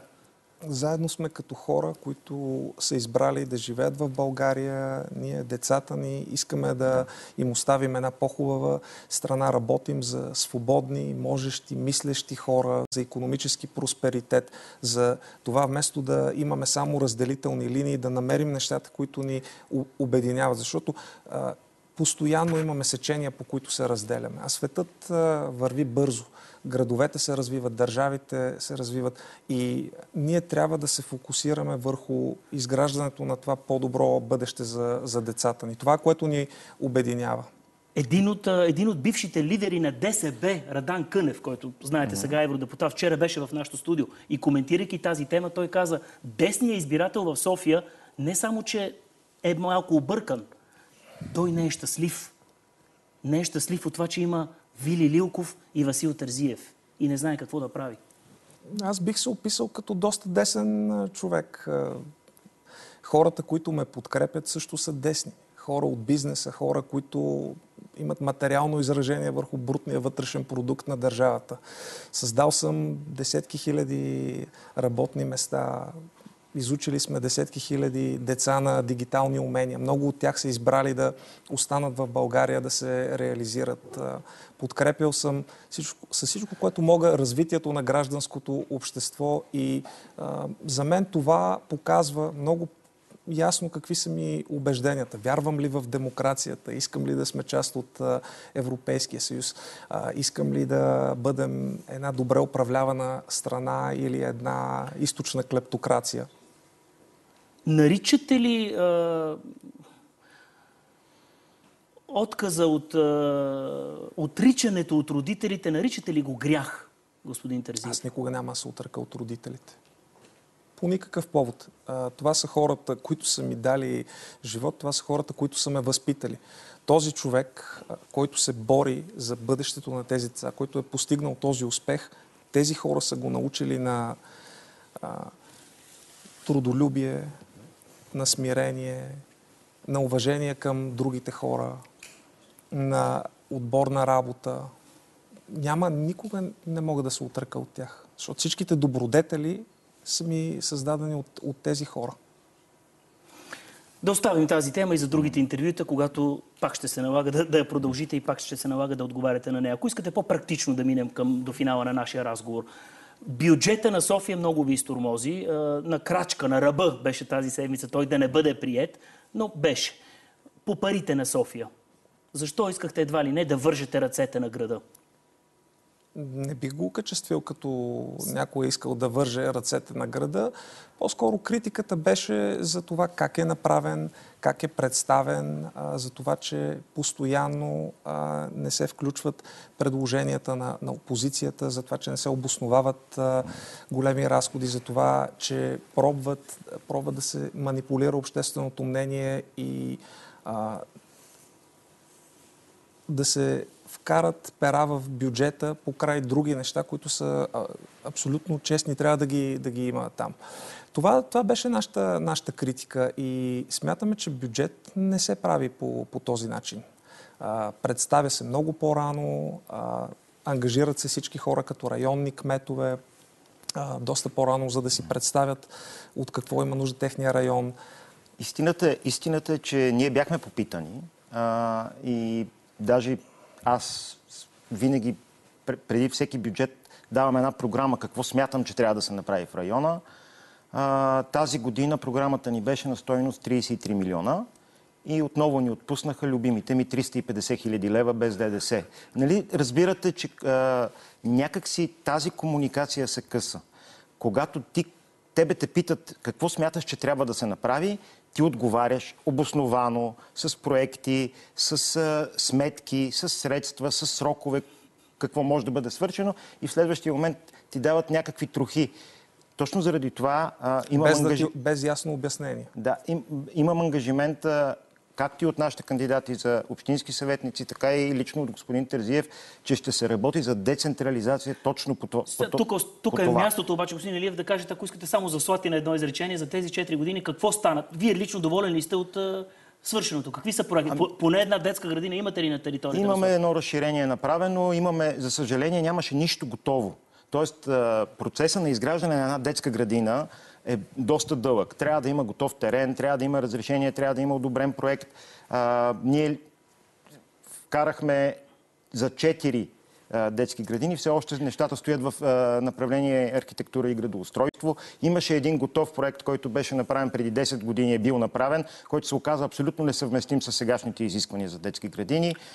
Това е, но, но вече сме на финала на, за тези две решения и две чисто нови детски градини, да получим тези разрешения и се надявам следващия мандат те да бъдат реализирани. Кога започва строежа на продължението на третия лъч на метрото? Скоро, есента, Скоро би трябвало имаше да бъде. протести, вие знаете, на инициативен комитет, че не иска да минава точно да, под Гео Милев. Да, а, Има ли альтернатива или ще мине под Гео Милев? Ще си мине под Гео Милев. Е, Очакваме последната инстанция да се произнесе. Другите жалби вече са оттеглени на базата на, ня... на медиация, включително в която и аз се включих.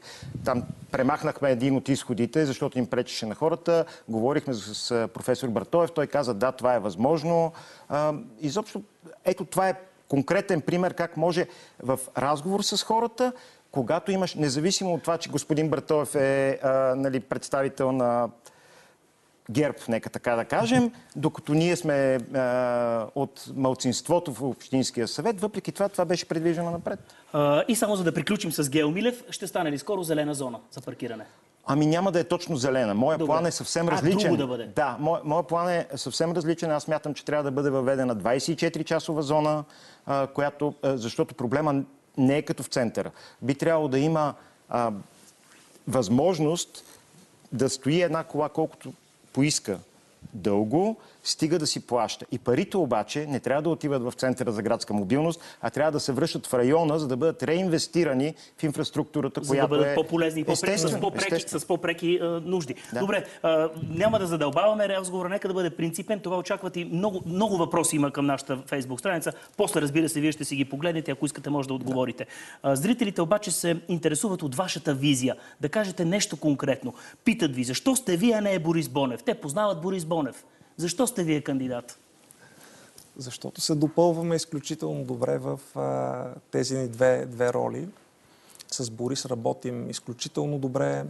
Екипът на Спаси София е основна движеща сила в а, нашата коалиция.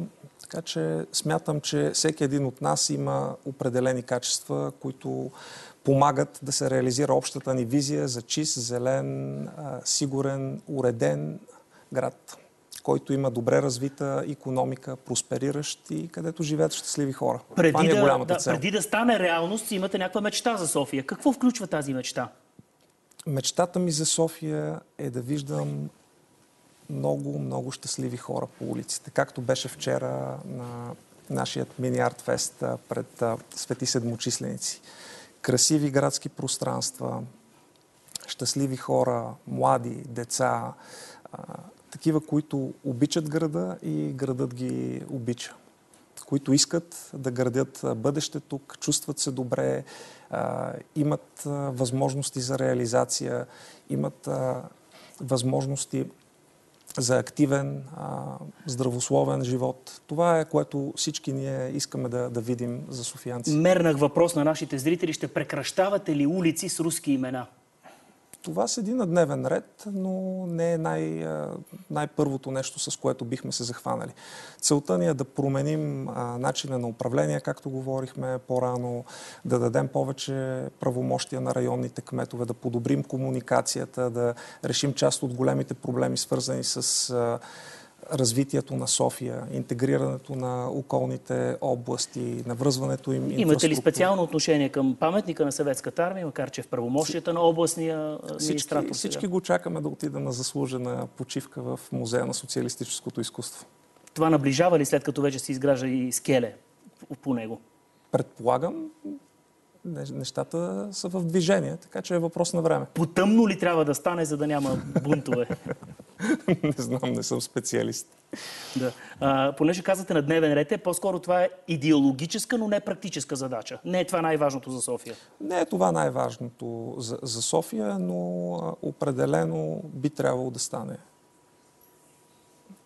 Някои от улиците, като, като Граф Игнатиев, Аксаков, мисля, че биха могли да се здобият с по-хубави имена, които носят на хора, които имат принос към добруването на нашия народ. Разбира се, че ви предстои един месец много по-напрегнат и много по-изпълнен, когато много кандидати за кметове ще бъдат на финалната права преди 29 октомври, когато е деня на местните избори в цялата страна. Васил Тързиев, Георги Илиев, район Слатина и столичната община, представена от двамата ни гости. Благодаря ви, че бяхте в нашото студио. Вице-президента Иляна Йотова ще влезе сега.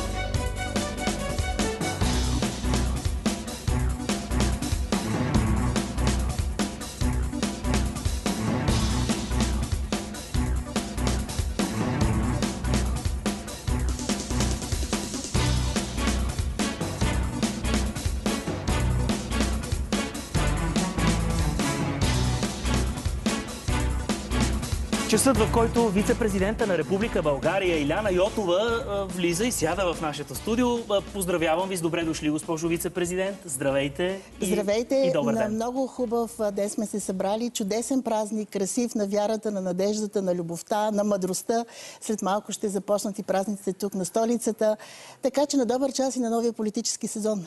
А, Благодаря ви. Наистина стартирахме във вчерашното ни издание и нашето предаване в новия политически сезон. Политиците вече започнаха активно, но най-хубавото, че днес е 17 септември, както казвате, много хора празнуват имения си ден, пък и празнуваме празника на На най-големия всички град тях един чудесен празник пожелавам. А, щ- ще имаме повод да поговорим, разбира се, по много различни теми. Ако искате да започнем по най-най-актуалното, защото буквално преди часове идвате, кацате от Албания, където такът много любопитни процеси. Прочетохме, че емисари бродят преди преброяването а, с много неприятни за България и за българския суверенитет задача. Видяхте ли го това с очите си, госпожо Йотова? Само преди няколко часа наистина се върнахме от Албания и пътувахме с кола, за да можем да отидем при повече а, представители и дружества на българи в Албания.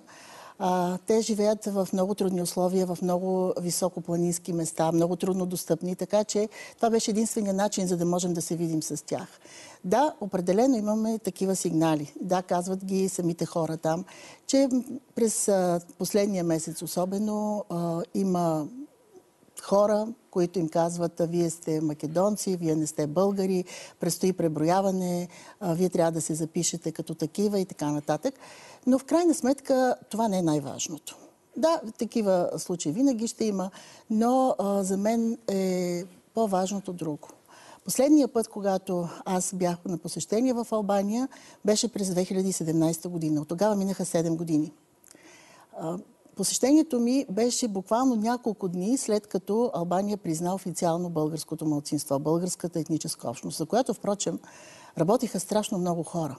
И това е един от тези чудесни, добри примери, когато България има своя интерес, особено когато защитава свои хора, граждани с български происход, исторически диаспори. Тогава се работеше на ниво правителство от страна на ГЕРБ. Специално искам да поздравя тогавашния премиер господин Борисов, защото неговия, неговата роля беше много голяма. Разбира се, и на Сергей Станишев, който имаше много тесни контакти тогава като лидер на партия на европейските социалисти с министър-председателя Еди Рама. Ние от страна на, а, като евродепутати, от всички политически партии. И българската общност беше призната. За тези 7 години има огромни стъпки напред. А, вече ние имаме и официален представител като общност в техния национален комитет на малцинствата. Добре, но кой и как мотивира в момента хората с българско самосъзнание в Албания да се пишат македонци? Как ги мотивират? Какво им казват? Аз не съм се задълбочавала, става аз не това? съм се задълбочавала изобщо върху този въпрос, защото чухме сигналите, приехме ги за сведение и в, по време на всичките ми официални срещи с президента на Албания, с председателката на, техния, на тяхното народно събрание, с вице-премьера им, с а, техния министр на вътрешните работи, аз съм предала тези сигнали. Оттам нататък имам доверие и разчитам на своите албански колеги, че ще вземат мерки. Още повече най-голямата ми надежда е в самите български дружества, в самите български общности, защото за тези 7 години има вече огромно самочувствие. Те се чувстват като една отделна общност. Да, те са достойни албански граждани, но а, желанието им, амбицията им още по-ревниво да пазят нашите традиции, нашите обичаи. Вчера ние открихме едно, учебната година в едно българско съботно-неделно училище в Елбасан, един от големите градове в Албания. Знаете ли с какво ме посрещнаха? Казаха, госпожо вице-президент, това помещение вече е малко. Има такова огромно желание сред родителите да дават децата си на училище. А, в събота и в неделя, знаете ли какво означава това за едно малко дете? За всички ние сме минали през училището, учиш до петък в албанското училище и след това и събота, и неделя по няколко часа учиш български язик. Помещението наистина се оказа тясно. Вчера научихме още една прекрасна новина – в още един съседен град се открива ново училище. По български язик, по българска история, по родна реч, по а, култура на България. А, а най-хубавото е, кои са преподавателите в тези училища. Това са млади хора на по 20 и няколко години, които по силата на 103-то постановление, знаете, това е постановление на нашето Министерство на образованието, им дава възможност да учат в България и те са се върнали обратно в Албания, за да преподават български язик. Това са много по-важни сигнали, това са много по-важни реалности, отколкото някои емисари, които живеят преди век. Да, и колко хубаво би било тази хубава позитивна история за България, за българското самосъзнание, да беше пренесена, да кажем, и в съседна Северна Македония. Питам ви, защото вие сигурно чувате все повече тези политически гласове, които казват, че България изгуби последния си лост, ветото над Скопие. Шенген срещу ветото в Скопие. Трябваше ли по някакъв политически начин или дипломатичен начин България да изтъргува това нещо? Аз винаги съм била против подобни търгови. Още повече не смятам, че те са реалистични. Много се надявам, че следващите месеци нашите колеги от Република Северна Македония ще изпълнят условията, за да могат и те да отидат на втората междуправителствена конференция и да започнат наистина реалните преговори за членство, така както впрочем направи албанската страна. Но искам специално да подчертая, че преброяването ще стане сега, то започва от утре, за първи път, откакто е призната българската общност. И ние трябва наистина да защитим статута на отделна общност. И аз мисля, че ще получим и голямата помощ от страна на албанските власти. Това е голямата разлика с нашите колеги от Република Северна Македония. Що се отнася до Шенген, причините там са много повече. Аз искам да ви припомня само работата на служебния кабинет и на президента Радев, който преди няколко месеца, когато представяше България на няколко срещи на върха в Европейския съвет, всъщност той беше човека, който отново вдигна темата за Шенген. Тя беше забравена доста време, за съжаление, поради различни особености, поради известен нихилизъм от страна на български правителства. А пък и не, не на последно място от нещо, което смятам, че винаги е било много вредно за нашата европейска политика. Това е желанието ни да не разсърдим някой, да не вдигнем парлив въпрос, който, видите ли, на някому не е изгоден. Президента тогава проведе една наистина много сериозна кампания, която беше стигнала до един етап и за която, за съжаление, след това отново се върнаха нещата назад. Да, аз много добре си давам сметка, че има вътрешно-политически процеси и в Нидерландия, те са пред предсрочни избори, както и в Австрия, но не това е основното. Смятам, че действително, така както и при, при албанската тема, макар че това разбира се като мащаби е несравнимо, но трябва да се впрегнат всички усилия на всички власти в България, за да можем да се поздравим с Шенген. Иначе, вижте, бравурните изказвания на госпожа фон дер Лайен, време е да сложим България и Румъния в Шенген. Извинявайте, този призив и тази новина е с 13 годишна давност. Защото България беше изпълнила всички технически критерии, каквито са изискванията за Шенген, още 2011 година. От тогава до сега винаги се намираше ново и ново условие. Впрочем, за съжаление, не и без участието и на грешки на българската дипломация. След като казвате, че това наистина не, далеч не е новина, този призив, особено на финала на един мандат на Урсула фон дер Лайен сега в края на Европейската комисия, а, дали пък България не трябва подобно на Румъния да се обърне към Европейския съд в Страсбург? Може ли да поискаме обещетение? Можем ли да съдим Австрия и Нидерландия? А, първо смятам, че координирани трябва да бъдат действията. Ние изстрадахме целият този път заедно с нашите румънски колеги. Впрочем, искам да кажа едно изречение, че винаги съм смятала разширяването по двойки, както беше и за нас и, за румънската страна, както сега Албания, Република Северна Македония, не е най-добрия начин. Защото тъкмо една страна направи няколко крачки напред, след това другата трябва да я догони, след това нещата се обръщат в другата посока. Но да изоставим тази страна от процедурна гледна точка, която, впрочем, не е само процедура, е много важна. А, сега обаче, след като сме извървели целият този път заедно, струва ми се, че трябва да бъдат и координирани действията помежду ни. Впрочем, нашите румънски колеги се убедиха, смятам, че всякакви, грубо казано, заигравания – с европейските институции зад гърба на България, няма да им донесат никакъв успех и никакъв резултат. Така че в този случай е добре между правителствата, между различните институции да видим каква е идеята точно на Румъния, защото, вижте, съда на Европейския съюз, в Люксембург не е просто съд по всичко. Трябва да видим доколко и как бихме могли да имаме основание, защото ако направим една постъпка там, а се окаже, че нямаме право на това, ще берем още по-големи ядове и щетите за нас ще са още по-големи. Така че не е въпросът само в изхвърлянето и в казването на някаква бомбастична новина, а много внимателно трябва да се преценят нещата. Окачествената като отлична новина, падането на мониторинговия механизъм, в крайна сметка пряко ли е свързан с напредъка на България? Означава ли, че преборихме корупцията? Означава ли, че преборихме организираната престъпност? Означава ли, че сме в чудесни вътрешни отношения? Аз... Питам ви на фона на процесите, да ги свържем малко с летните процеси, показните убийства, знакови личности, за които изведнъж се оказа, че те са бабували на тази толкова прочута управленска сглобка. Добро, добре ви навързахте, така че а, трябва да започна малко по-отначало, очевидно, за да ви отговоря на всичките въпроси и на нашите зрители. А, вижте, а, новина, че е свален мониторинга, не е никаква новина. Казвам ви го не само като политик, казвам ви го като колега журналист защото беше ясно, че този мониторинг много отдавна не функционира, както за България, така и за Румъния. Ние имахме някакво полурешение в последните дни от президентския пост на господин Юнкер, когато той обеща на тогавашния наш министр-председател господин Борисов, че пада мониторинга. След това имаше едно половинчато решение, ма паднал ли, не е ли паднал. След това Европейската комисия вкара новия механизъм за върховенството на закона, който вече е валиден за всички държави членки и както виждате, всяка година има годишен доклад за състоянието на страните в Европейския съюз. Мониторинга стана излишен от само себе си. Още повече, че от един момент нататък, назад в годините, той зацикли той вече нямаше принадена стойност. Той по-скоро служеше за някакви вътрешно-политически разправи. Кой е по-велик, дали имаме политическа воля или нямаме политическа воля, какво казала опозицията, пък какво казали управляващите. Но той реални функции нямаше. Така че неговата, неговото отпадане беше, как да кажа, предопределено. Още повече не може да бъде новина нещо, което стана онзи ден, вече официално изявление на комисар Юрова, при положение, че още на 17 юли, юни извинявайте, тя даде първия, първия анонс, че отпада мониторинга за Румъния и за България. На 17 юли го потвърди, а сега просто при началото на новия политически сезон го каза на глас.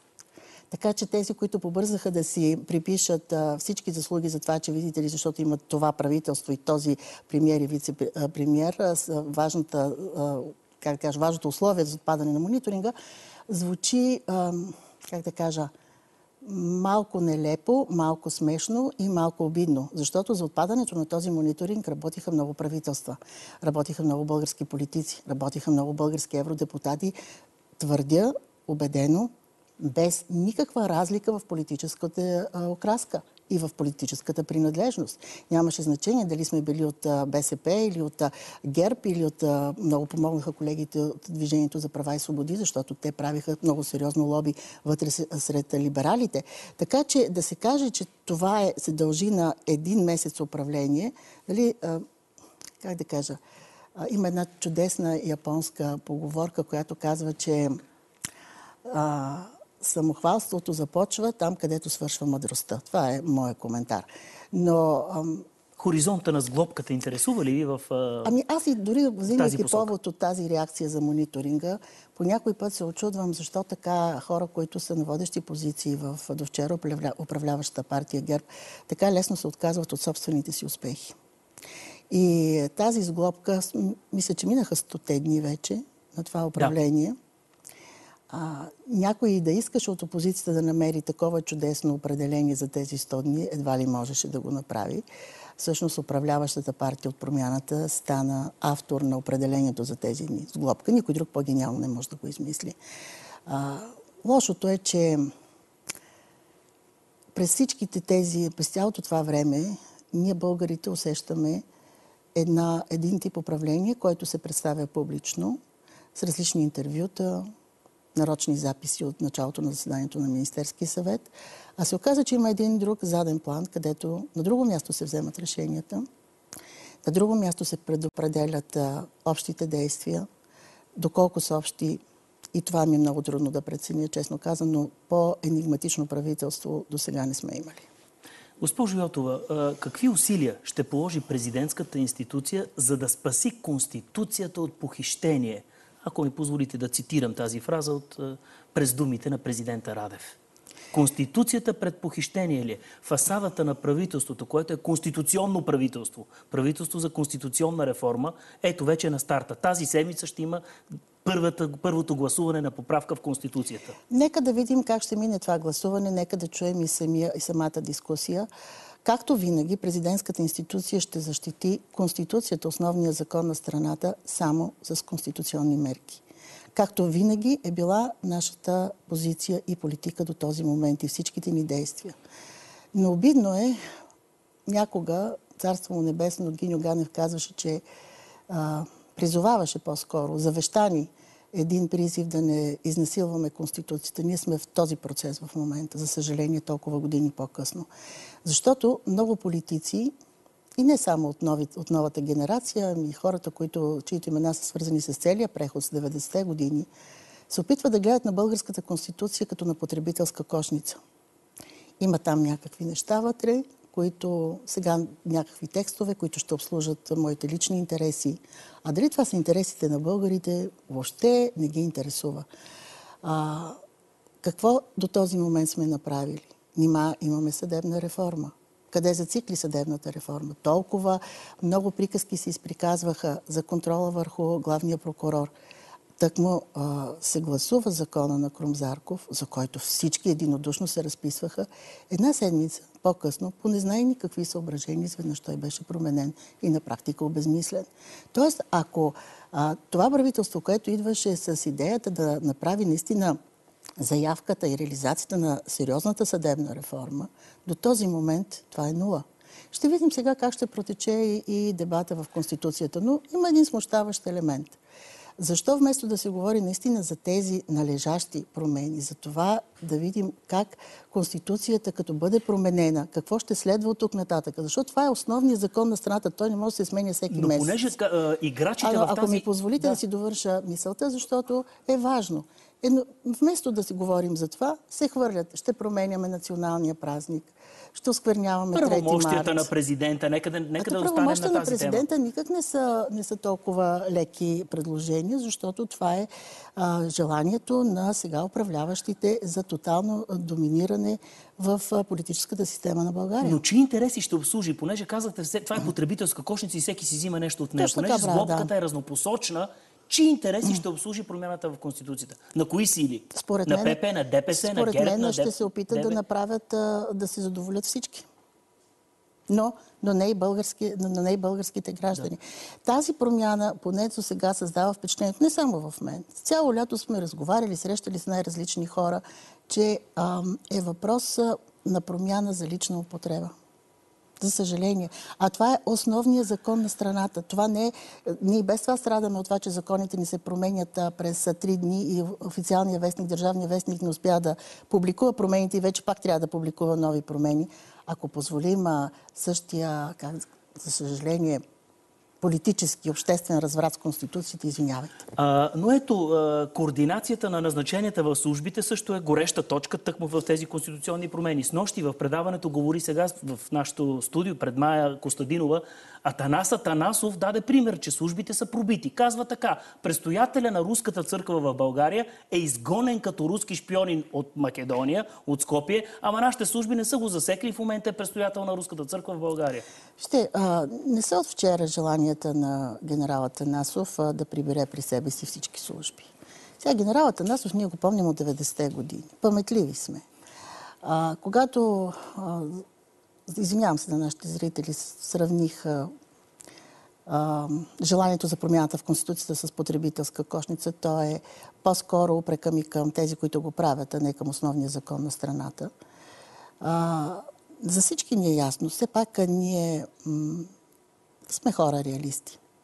Най-голямата беля, която можем да направим, е да сложим политическия етикет, политическия знак върху службите, от тук нататък да ги превърнем не в служби, които трябва да, да, да се грижат за сигурността на българските граждани, които трябва да опазват държавността, а да служат на политически централи. Това е моят коментар. Очевидно това е желанието. Отчитайки първите 100 дни на правителството, академик Денков каза, че то е успяло да успокои да подреди държавата, кабинета. Това намек ли е, че вие сте разбъркали и сте разсърдили държавата и сте внесли напрежение в нея? Ами, а, какво да ви кажа? Господин Денков не мислеше така, когато беше министър в няколко служебни кабинета, но а, не отричаме желанието на хората да еволюират. Очевидно това е сега неговото становище. Аз бих му отговорила много простичко и много кратко. А, подреди се отново стария модел, а той има лична заслуга за това. От мнозинството заподозряха държавния глава като инициатор на този комитет за спасяването на националния празник на страната 3 март. Този комит... как го наричат? Комитет ли е за спасяването? Не го наричаме Това- ние, защото не сме го направили. Ние направиха си го хората. Хората, които няма да позволят да се осквернява националния празник на страната, една дата, която в крайна сметка извърши най-важното. Върна държавността, върна България, българската държава с хилядолетна история на политическата карта на света. И това е една съвсем нормална реакция. И понеже чувам, че била проблематична тази дата, мисля, че изказването е на екс-премьера Кирил Петков, ми, аз предлагам да седнем на един дебат с него и да видим къд, колко и за какво е проблематична датата 3 март. Само искам да припомня на нашите зрители, че преди време, когато говореше за априлското възстание, нарече българските национални герои някои хора. Така че, мисля, че коментара излишен. Управляващото мнозинство заподозря президента в това, че е на път да си създаде партия чрез този комитет, бранейки 3 март. Заподозряви, че подкрепяте в момента зърнопроизводителите, че сте на тяхна страна, че потиквате протести, които очевидно, по думите на академик Денко, стават все по-политически. Това е конфронтация нарочна с властта. Тоест, дестабилизиращата роля на Дундуков 2. Ще, когато едно правителство беше създадено с много тежък компромис и случая изказването ми определението е доста дипломатично, защото се оказа, че то е резултат от едно манастирско шушукане.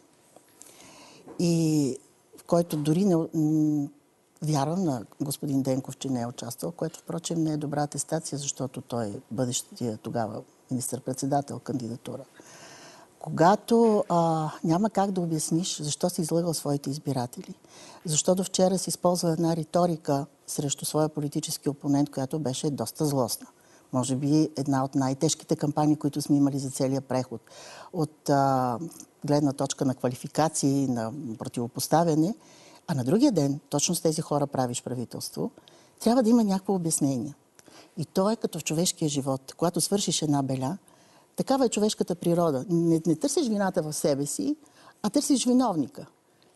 Намериха удобен виновник, в кавички удобен, защото, както виждате, нашата реакция е достатъчно твърда, в лицето на президента. И от тук нататък всяко свое действие и бездействие обясняват а, с този универсален виновник. Разбира се, а, това нещо може да стане до време. Защото сега вече е ясно, че хората губят все повече доверие в сглобката. И това, се вижда, това не го казвам аз, това го казват изследователи, политолози, социолози, всички, които измерват общественото мнение. А що се отнася до а, проблема с зърнопроизводителите? Вижте, а, цялата ми а, работа в Европейска институция ме е научила на нещо, че човек трябва много да мисли преди да казва нещо, и особено когато се служи с квалификации, особено когато взема един от най-големите и най-високите постове в държавата.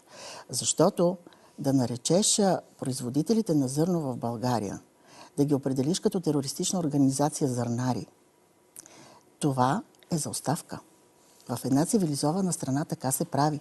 Да, тя може да не бъде приета, но това е, как да кажа, морален акт. А, и когато говорят кой разделя българското общество, в момента не сме ли а, свидетели точно на това разделение? Насъскване на производители срещу преработватели. На българския народ срещу и преработвателите, и производителите, които му правят живота скъп.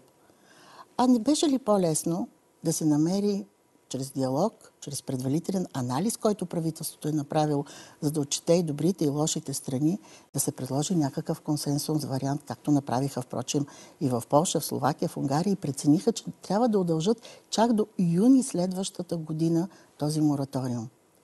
И много е лесно да си измиваш ръцете с Европейския съюз. Ама преди да дадеш обещанието на Европейската комисия, хайде първо поговори си с собствените сънародници, изкови си една сериозна позиция, да, така че да имаш общественото мнение и подкрепата на хората зад гърба си. Уверявам ви, че това е много лесна политика тогава, защото с аргументите, които имат интересите на страната ти, ти си непробиваем тогава, когато трябва да спориш със своите европейски партньори. Впрочем, има и формати. Този земеделски министр, който тук буквално като пинг-понг си играят с него от едната страна на управляващите, после другите управляващи, после министр-председател. Честно да ви кажа, аз ако бях на негово място, щях да се оттегля. Той ходи на съответните съвети, където се събират всички земеделски министри. И той, ако отиде с позицията на България, каже, вижте, ние не сме против общата политика на Европейския съюз. Да, ние трябва да помагаме на Украина. Обаче трябва да намерим друг консенсусен вариант, може би някакъв среден вариант. Защото почва да страдат нашите общества, нашите граждани. А когато страдат нашите граждани, това не е в полза нито на а, украинската страна, още по-малко а, е в посока на по-голяма, как да кажа, убеденост като европейци. Напротив, ражда евроскептицизъм и пък се възползват и крайни радикални антиевропейски партии от тази ситуация. Така че въпросът е много комплексен. Но, за съжаление, както в повечето случаи се говори преди да се мисли, не се правят достатъчно тези анализи, както беше и с Лукойл. Както, впрочем, спомняте ли си, господин Денков беше на върха в, на срещата на НАТО в Вилнюс и първо каза, че ние одобряваме използването на касетъчните бомби, после каза, че не ги одобрявам. Тоест, това са, това са важни сигнали и те са изключително важни за нас, българите. Разбира се, те правят впечатление на нашите европейски партньори. Нека да, да обобщим този разговор, госпожо Йотова. Ако е, смятате, че президентската институция е атакувана, ако е мишена, ако смятате, че това е спойката на сглобката в момента, ще имате ли е, вие на Дондуков 2, заедно с президента Радев, е, лостове да се противопоставяте? Ще сезирате ли, например, Конституционния съд, ако промените в Конституцията засегнат правомощията на президента? Вижте, а, президента не може да бъде а, аргумент за, за сглобката повече.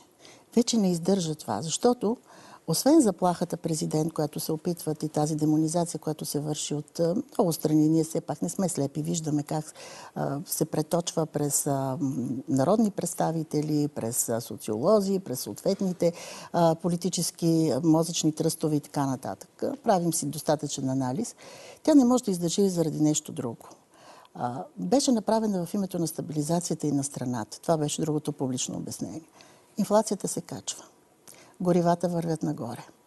Сега виждате протеста на земеделските производители. А, Шенген все повече се отдалечава, въпреки че това беше основният външно-политически приоритет. Големи бяха опреците към бившия министр на вътрешните работи господин Демерджиев за миграцията. Спомняте си колко мисии дойдоха тук и на двустранна основа и от страна на европейските институции. Сега, всеки ден, във вътрешността на страната имаме не един на седмица, а по няколко пъти на ден залавени мигранти. Това, впрочем, много сериозно се наблюдава в, в Европа, защото ясно е, че изключително много се увеличил мигрантския поток. Не случайно госпожа фон дер е сега в Лампедуза, защото Италия е залята от мигранти. Същото се случва и на нашата граница. И вместо да, да обединим усилията си тук като хора и като институции и да а, имаме твърда българска позиция, която да се защитава навън, ние се замеряме с това какво било преди, а, защо сега не могат да се справят, защото предишните били виновни. Ето това е истинската война с президента. А тя е предначертана в онзи запис. Ние го следим много внимателно. Всичко там, каквото беше казано на, тази, на това партийно събрание на промяната, за това как ще бъдат отнети правомощите на президента, как той ще бъде оставен сам в сградата на Дундуков, как ще му вземат службите, как нашето МВР ще прави местните избори. Аз се очудвам даже на така доста слабата реакция на останалите политически партии, които също ще имат своите кандидати, както виждате преди малко бяха едни от първите, които вие поканихте в студиото си. От тук нататък след някой ден ще започне политическата кампания. Какво значи признанието нашето МВР да прави местни избори? Това не се е случило в целия преход. Такова признание. Ето тази, това, беше, това е предначертаната война с президентската институция. Но това хората го виждат. Това хората го виждат и вече изобщо са изпразнени от съдържание всякакви опорни точки за преяждане с власт, за служебни кабинети. Ми извинявайте, най-лесното обяснение, когато всички тези хора тръгнаха от служебните кабинети, нямаше преяждане с власт. Нали? Тогава те бяха промяната. Но когато те се отметнаха от промяната, когато започнахме заедно с тях и с нашата институция, тогава вече президента вече беше враг. Ще Защото властта е по-сладка. Мълчалива подкрепа на местния вод за някои кандидати, бивши министри от служебния кабинет, например. Това означава ли президентско участие на местните избори? Аз не разбирам въпроса ви какво значи мълчалива подкрепа. Ако ще е толкова мълчалива, кой ще разбере подкрепата? така че, а, естествено, ние сме живи хора, всеки от нас има своите предпочитания. Аз, например, с огромно а, нетърпение чакам да видя кой ще бъде кандидата на ГЕРБ в София, защото тук би- битката ще бъде една от най-оспорваните, особено след издигането на общата лява кандидатура в лицето на Ваня Григорова. Тя е един изключителен боец. Така че Софийската кампания обещава да бъде много интересна. А, нека да има и конкретни предложения, защото в предишния разговор ще си позволя един а, не толкова забележки, затова ще го направя под формата на съвета, ма нека кандидатите за София да бъдат по-конкретни, за да могат да убедят нас избиратели. Говорите за Васил Терзиев. Ми, посланието ми е Посланието ми е общо, но да, да вземам повод от това, което чух малко преди да седна в това студио. Много би ми се искало тези местни избори да не рубуват на общата политическа конюнктура в страната и на, как да кажа, на този двоен стандарт, който зададе този кабинет, а действително местните избори, които са много важни, защото а, хората допират до кмета и до Общинския съвет за решаване на по-голямата част от своите проблеми, действително да предлагат а, нещо ново, да предлагат нещо конкретно.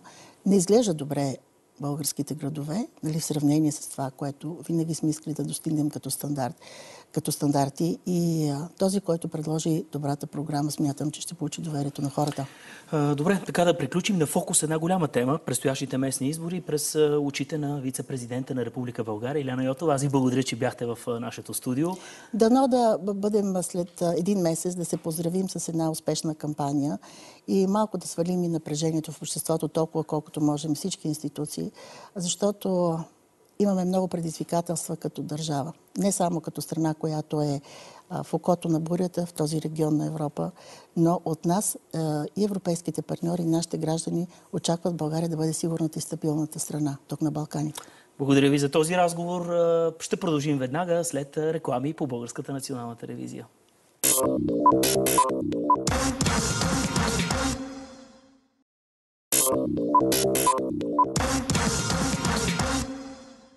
Обратно сме в студиото. Часовете и минутите след 10 обикновено отстъпват от политиката. Това е най-хубавото в неделя сутрин. А, С политическите теми до тук. Драгомир Драганов. Драго Драганов, нашия колега Драго. Кой не е чувал за? Едно от най-ярките лица на Българската национална телевизия. Аз наистина се радвам, че си тук, за да може да поговорим по една тема, която много те изкушава. Ти си радетел, почитател на цирковото изкуство. Аз ще кажа биограф. Въобще, на, въобще би, на, на всички събития от историята на цирка. Далеч съм от подобни Защо не? претенции. Не Искам, знаеш да ли всичко? стигна, искам да стигна до почитател и да повтарям до безкрай, че почитам изключително много историята на българското цирково изкуство, пазя памет за неговите златни дни и с изключителна надежда за нов златен век не спирам да говоря Да. колкото се може Ами по- ето аз повече на висок глас за, това пак историята на българския цирк. Почитателя, радетеля и все пак познавача и биографа. Имам Но- подарък за носиш тебе. подарък ли? Носа ти, да. Нещо съвсем 40 скромно. години от изгарянето на Софийския държавен цирк. Да, така се нарича и а, тази изложба, която вие подредихте, а, Да. за която ще ни разкажа в момента. Много фокуси, много хубаво съдържание има този албум или, Албум, или и точно това така. издание, което... То е двуезично, така че а, можеш да го показваш и на приятелите си в а, чужбина. Самия аз всъщност разпратих вече над 100 броя до много почитатели на цирковото изкуство, а, които не спират да ми задават въпроси а, за това какво става с българския цирк, какво се случва с българския Ами цирк. ето сега, 40 години от едно злощастно събитие да изгори цирка. Точно 83-та. така. Точно От така. самия пожар аз спомени нямам. Ако беше Стоянович, той понеже е много по-възрастен, той ще, ще ти разкаже за тези неща. Аз спомени нямам. Самата сграда на цирка много добре е помня на Солни пазар. Една емблематична, става? Емблематична става? сграда за София. В Деня на София не можем да не а, си спомним и за нея, защото тя институционализираше изкуството. Редом с Националната опера, с Народния театър Иван Вазов, с Националната галерия. Тя беше дом на едно изкуство. В него а, показваха най-големите си постижения българските артисти.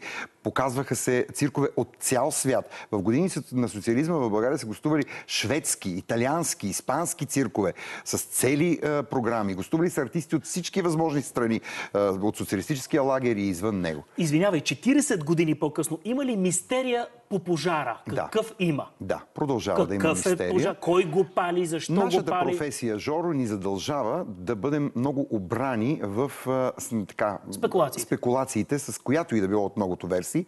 Но според мен 40 години по-късно продължава да има мистерия около това как точно е възникнал пожара и защо в крайна сметка не е могъл да бъде овладян. Когато пристига първата пожарна, тъй като аз преди 5 години направих един документален филм посветен на тази тема и за първи път в него дадох шанс да говорят хората, които са гасили, непосредствено участвали в гасенето на пожара. Днес те вече са девоенизирани, те са възрастни хора и могат да говорят спокойно за това, което се е случило, без никакви притеснения. А когато пристига първата пожарна, тя заварва един вече разбушувал се огън. А, отиват с а, една цистерна, която прилича на капка вода срещу а, нали, този огнен ураган, който вече се е разразил. Започват да, при, да пристигат а, всички останали дежурни а, пожарни от София, но действията им се оказват абсолютно, как да ти кажа, срещу този наистина много, много значим пожар в а, новата история на България. а, Пожарната се оказва безсилна в, тези, в този момент. Ех, този цирк, така се нарича изложбата, която е подредена в Музея за история, Музея за история на регионалния е музей на София. Регионалния музей на Бившата. бившата централна баня. Точно така. И какво е съдържанието? Какво има там? Не бива да забравяме, че музеят така предостъпи. Първо, за мен е изключително висока чест е партньорството на музея, към което вървяхме от началото на годината. Фиксирахме тези дни, защото те съвпадат с датата на пожара, 25 септември. Аз идвам при тебе с новина. Директора на музея ми се обади, за да ми каже, че интересът е толкова да, смея да се похваля, толкова голям, че а, от музея са взели решение да удължат срока на изложбата с още 10 дни. Тоест не до 1, а до 11 октомври сега ще могат да разглеждат столичани и гости на столицата.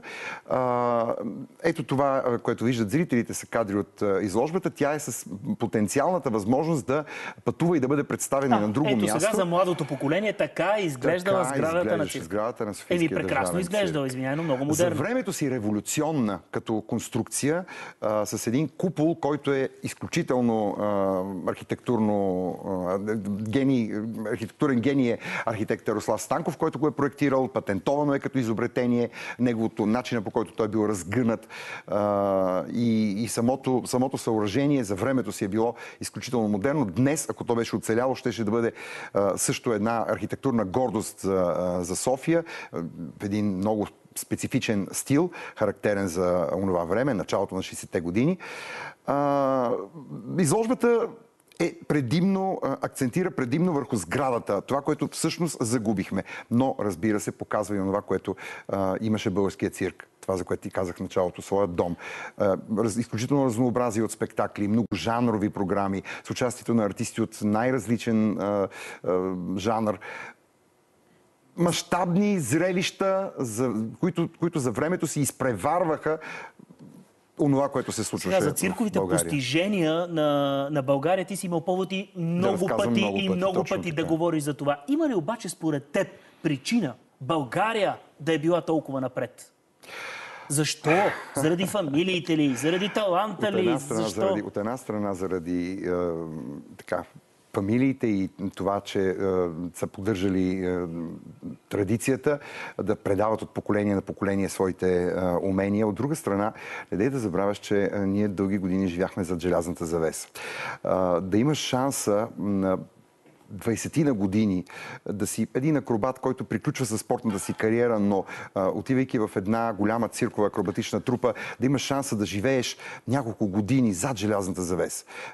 Има български е, трупи, които са живяли в, работили и живяли в Америка по 8-10 години в онези времена, в края на 70-те, началото на 80-те години.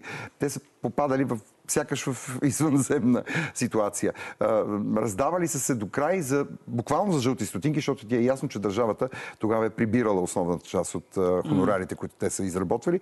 И все пак имали са шанса да видят един друг живот. В името на това много хора са така са рискували дори ако ще живота си на манежа. Как мислиш, Драго, това, че в момента цирка няма постоянна сграда, няма постоянен дом, изтиква ли го според теб от културното и, об- и обществено внимание на страната? Определено самия факт, че никой не използва в коментарите си за това, което се случва в парламента или в политическия живот като цяло, думата театър и думата фарс, която е най-правилното определение за това, в което живеем вече толкова много години, а именно цирк, е именно защото циркът някак си е изместен в страни. Държавата абдикира от отношението към цирка веднага след демократичните промени, точно поради тази причина. Е, Нямаше добре, каквото цирка. било, било, Да, каквото било, било и край. Вече няма изграда, няма и смисъл. вече няма изграда и вече можем да си позволим дори да уволним артистите, да, да разформироваме пътуващите циркове, да ги дадем в частни ръце. Ами аз се радвам, че дойде при нас, макар и за кратко, за да ни,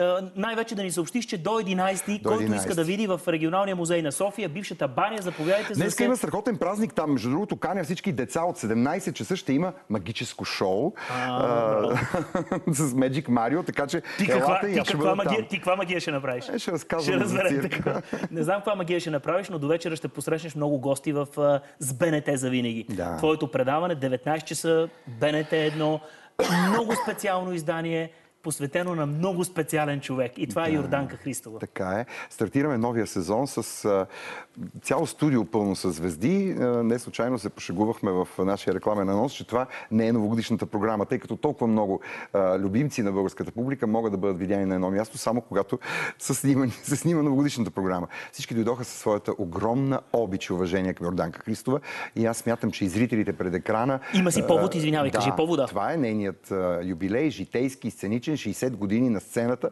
За житейският тя говори сама, годините ни личат и тя е реалното доказателство за това, че годините са просто една цифра. Ами ако искате да видите една прекрасна компания с музиканти, до вечера в 19 часа Драго е домакин, ще видите след секунди какви са гостите. Аз ти благодаря, че беше И при аз ти нас. благодаря, Жоро. Нека сега само да открехнем вратата, за да спечелим зрителите на твоя страна. Сега да видим а, какво ще видите до вечера от 19. Празните места в студиото ни са сякаш една концертна зала. Преди или след концерт артистът разговаря с празните места. Надеждата му е, че всеки един от столовете ще се запълни до последен. нали, когато репетирам, когато се подготвяме за събитието, е, празните места са пред нас, естествено. Но аз, като пея, много обичам да гледам публиката и има хора, с които по някакъв начин комуникирам.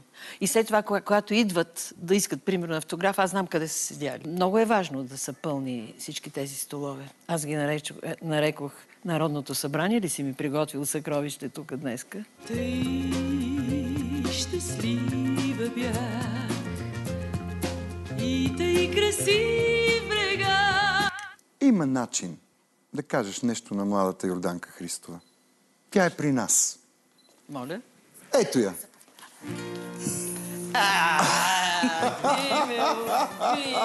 Не! Това уникално момиче. Среща на силите! Видя прелесна, както винаги.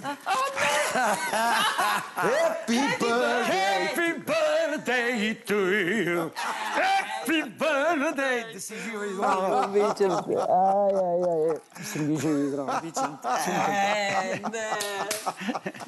Данчето е като слънце, като я видиш, усмихната и ти се оправя веднага настроението.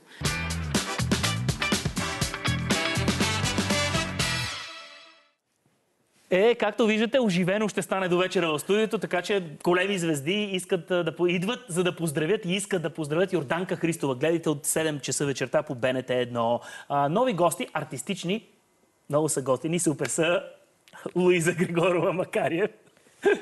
Скъпа госпожо Макарев, как сте? Много Добре е дошли при нас. Благодаря, Александър. Сано, а, не мога да свикна цял живот, но аз, мога- аз мога ли Сано от време на време? Както искаш. Както искаш така. Както е удобно на публиката. Добре дошъл и ти в студиото. Благодаря, Много добре че сте тук. Ето отваряте вратите на нов театрален сезон, на нов творчески есента, делови ангажименти ви носи. Искам да ви попитам обаче, ако едновременно един актьор има и представление, има и премиера, има и нов сериал, има и предаване, идва ли момента, в който си мисли, че може всичко? Извинявам, вие Само де не знам какво не сте правили. Аз имам чувството, че идва момента, а, в който си казва, че не може повече. А, това, и това е вярно. Каза, стига толкова ли Да, вече? защото ние сме точно в а, такава сила на живота си и двамата в момента, че правим колкото се може повече и в един момент си казваме, о, не, трябва да си починем малко. А това някаква оценка ли е за таланта, ако всичко правиш едновременно, или е само а, самочувствие за славата? Само си кажеш, е, аз мога да правя, канят ме навсякъде, пея, танцувам, играя, премиера, филми. Това дали приемаш всичките неща, в които, да речем, един актьор може да бъде инкрустиран, а, по-скоро е някакъв тест да видиш нещо дали имаш желание да се занимаваш или не. Аз съм бил на две телевизионни предавания водещ и съм разбрал, че може би тая част от професията, ако наречем, не е нещото, което ме така М. кара да се чувствам в зона на комфорт. Така че ето това предпочитам да не го правя. Е, има си хора за тази работа. Ето. Добре, приемам, приемам. Еми, да. Обаче човек като хване 100 дини и после се чувства нали, по друг. Именно, да. Случвало се да носиме по 17 дини и в един момент дори... Знаеш кое е най-страшното? Когато разбереш, че на всичкото отгоре можеш да ги носиш. Но си казваш, чакай сега малко, защото винаги има нещо, което страда и това най-често е семейството. Да, личният живот тотално отива на кино. За- Затова като ти дойде някаква мъдрост лекичко и казваш така, от 17-те дни оставам с Обаче, ви сега, мен пък ми харесва това, че можеш да ги носиш, защото и двамата сте отходи. Сега въобще па няма да ви правя комплименти. Супер сте и двамата, много снимате, много играете, хората много ви харесват. А, богатство за всеки режисьор. Кой не иска Сано и Луиза, кой не ги иска в своите продукти в своите сигурност програми. има някой, който не ги иска и слава Богу, за- защото в крайна сметка а, при актьорската работа не е най-важно всички да те искат и всички да те харесват, а е най-важно да даваш всичко от себе си и да правиш всичко, което ти можеш. Пък оттам нататък вече А опасно ли е, ако един актьор се мисли за голямата работа? Да. За него ли е опасно? не за актьор, за който и да е човек, ако се да е, помисли за фанал за шлифера, шефа, не е готино. И е опасно със сигурност, защото първо е, това 100% не е вярно и е, това води до недоразумение. ние двамата сме много критични към себе си и към работата, която правим, така че тотално не мисля, че сме се помислили за, за някой повече Добре, от друг. тогава от работата си и на сцената, и пред камерата, и в киното, как смятате, че е по-добре и как е по-полезно? Да се раздаваш или да се щадиш? Е, Да се в, раздаваш. в нашата професия няма с щадене, не става. става. Не става, абсолютно. Няма шанс. Иначе това, което казва Луиза, ето вчера имахме а, представление, първото от двете, второто ни е тази вечер. А, и Много доблизо.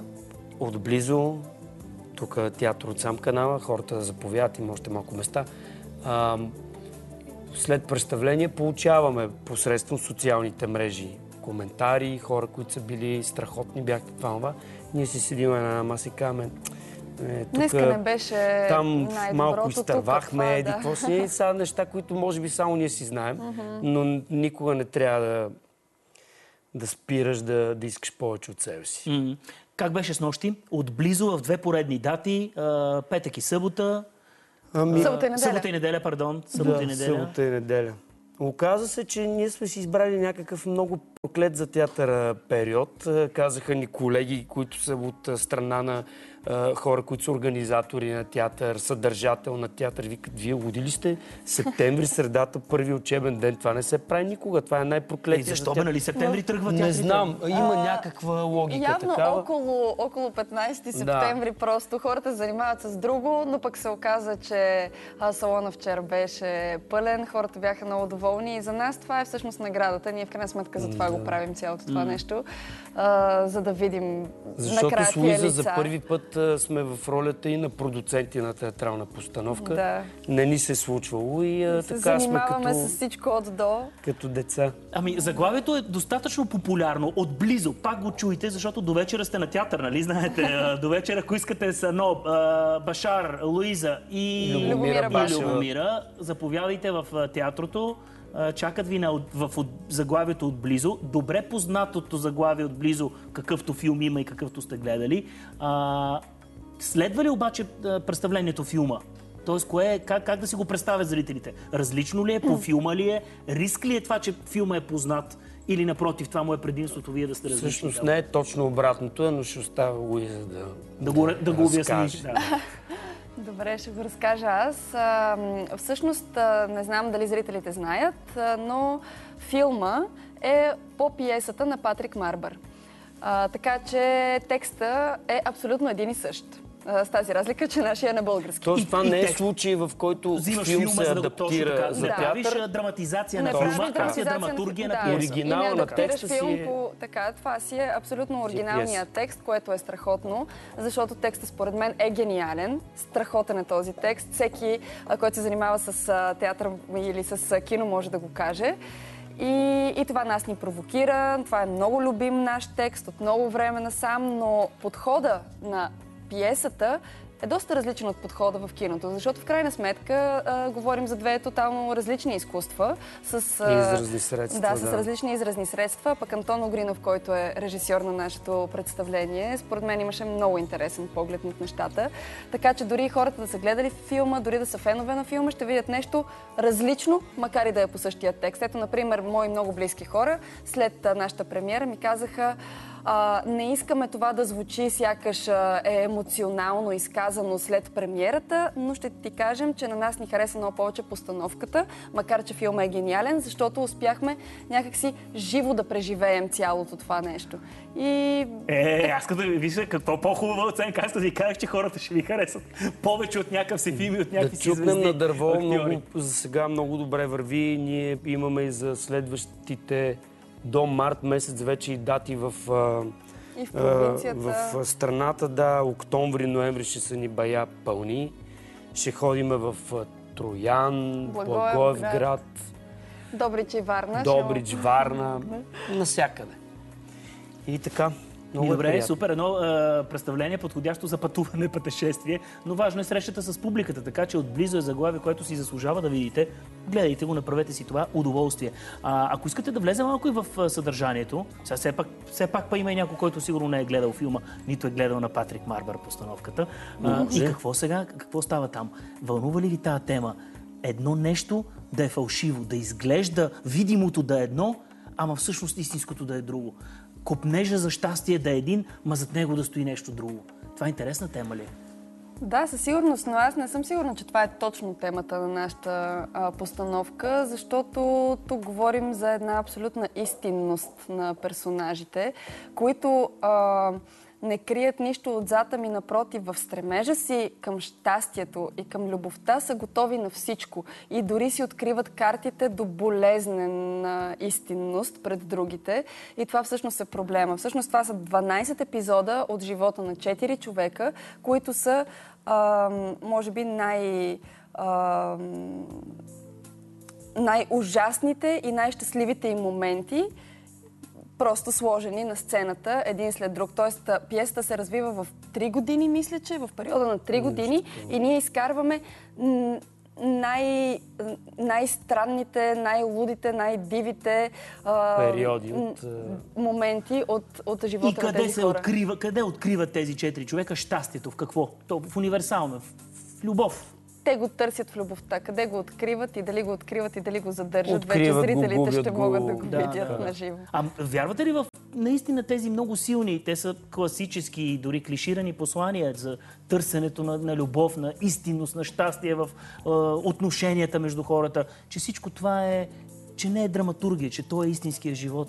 То е, то наистина е истински живот. Аз в професията ми и като, като фен на театър и на кино винаги предпочитам някакви по-приказни, измислени неща, които са далеч от живота. Има и при актьорите има хора, които обичат суровия живот да се показва. Аз предпочитам да е нещо, което не е суровия живот, защото си го живея.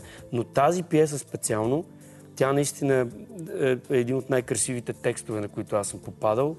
И а, толкова интелигентно е написана начина по който се развиват взаимоотношенията на тези хора, борбата им с а, самите себе си, за близкия до тях, цялата обърканост е просто много красиво ако направено. един човек има или няма умението да отваря сърцето си безрезервно, истинско, 100%, това проблем ли му е или му е предимство? Задължително е проблем. Аз мисля, че Що едно... бе човек, днеска много хора се пазят по този начин. Еми, иначе се замисли. Ама те не могат и да я изпитат на 100%. Разбира се. любовта, според мен. Когато, когато си предпазлив в любовта, не можеш да се опариш, но не можеш и да стигнеш до истинския и край. Така че аз винаги съм била на вълната да отварям сърцето си на 100%, да съм доверчива, макар и да бъркам. А пък едно нещо, което е много валидно за нашата пиеса и Тони Угринов го каза още когато я работихме, е, че това, тази пиеса е дисекция на любовта. Това е много точно определение за това какво правим ние там. Дисекция на любовта. Само като се замислиш от всичките и аспекти и от всички посоки, в които ние чувъркаме в човешката душа и сърце, през лъжите, през изневерите, през смеха, през всичко това, През обединено в едно. ако щеш. Наистина този текст много ни вълнува, както можеш да видиш ние. Супер, Имаме аз това да ви питам. Вие с удоволствие си Аз едно допълнение само да направя към това, което попита. Не можеш да си пестелив в това нещо, защото това те обрича на опасността никога ти да не, да не можеш да обичаш. А това е, мисля, едно от най-страшните неща, които може да, спо, да сполети човек. Нашите герои много се борят за това да обичат и да бъдат обичани. Ами ако искате пък да влезете в тази история, ако искате да тя да ви ожари, както се казва, заповядайте, опари, заповядайте. 19.30 19. тази вечер започваме на сцената на театър от сам канала. Да. Луиза, Башар, аз и След това има ли нещо Башева. парти, купонче или не? Нямате. След това, ако, След това ако, ако публиката е свръх екзалтирана, може и да отидем някъде на парти. Да. Продължа. Чакай сега да ви питам нещо сериозно. А, имат ли актьорите, ето виждаш какви социални недоволства зреят в, и във вашата гилдия, го казвам без ирония, Да, да. имат ли повод за недоволство? Бюджети, пари, заплати, искат пари, пък не им ги дават, пък ги приемат, пък ги урязват. Пък... Аз ще започна първи. Ще бъда много кратък, защото Луиза, бидейки актьор в театър, щатен, има и какво друго да допълни. По принцип, не познавам просперираща нация, държава, която неглижира изкуството си. Такава няма. А, държава, държавност, управляващи, които нямат изключително прецизен фокус върху културата си, не се случва нищо в тия държави. Това е което мисля, че е ясен и кратък. Не, можеш, не може културата ти, изкуството ти, защото изкуството и образованието, както наскоро чух да изрича един депутат, за първи път чувам някой да се изразява много точно, те са част от културата, те са съставни части на културата.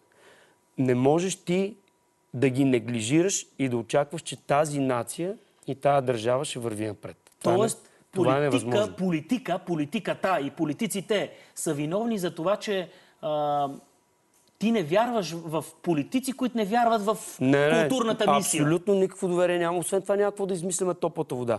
След военна Германия, Втората световна война, победена държава, която е осъдена на не знам си колко там милиони репарации, чудеси и всичко срив. Първите две неща, в които те влагат огромни средства, са образованието и изкуството. 20 години по-късно бивша Западна Германия е водеща економическа сила в, в Европа. И с моята лекция Чакай спирам сега, до тук. когато ти беше млад, не минаха ли 20 години?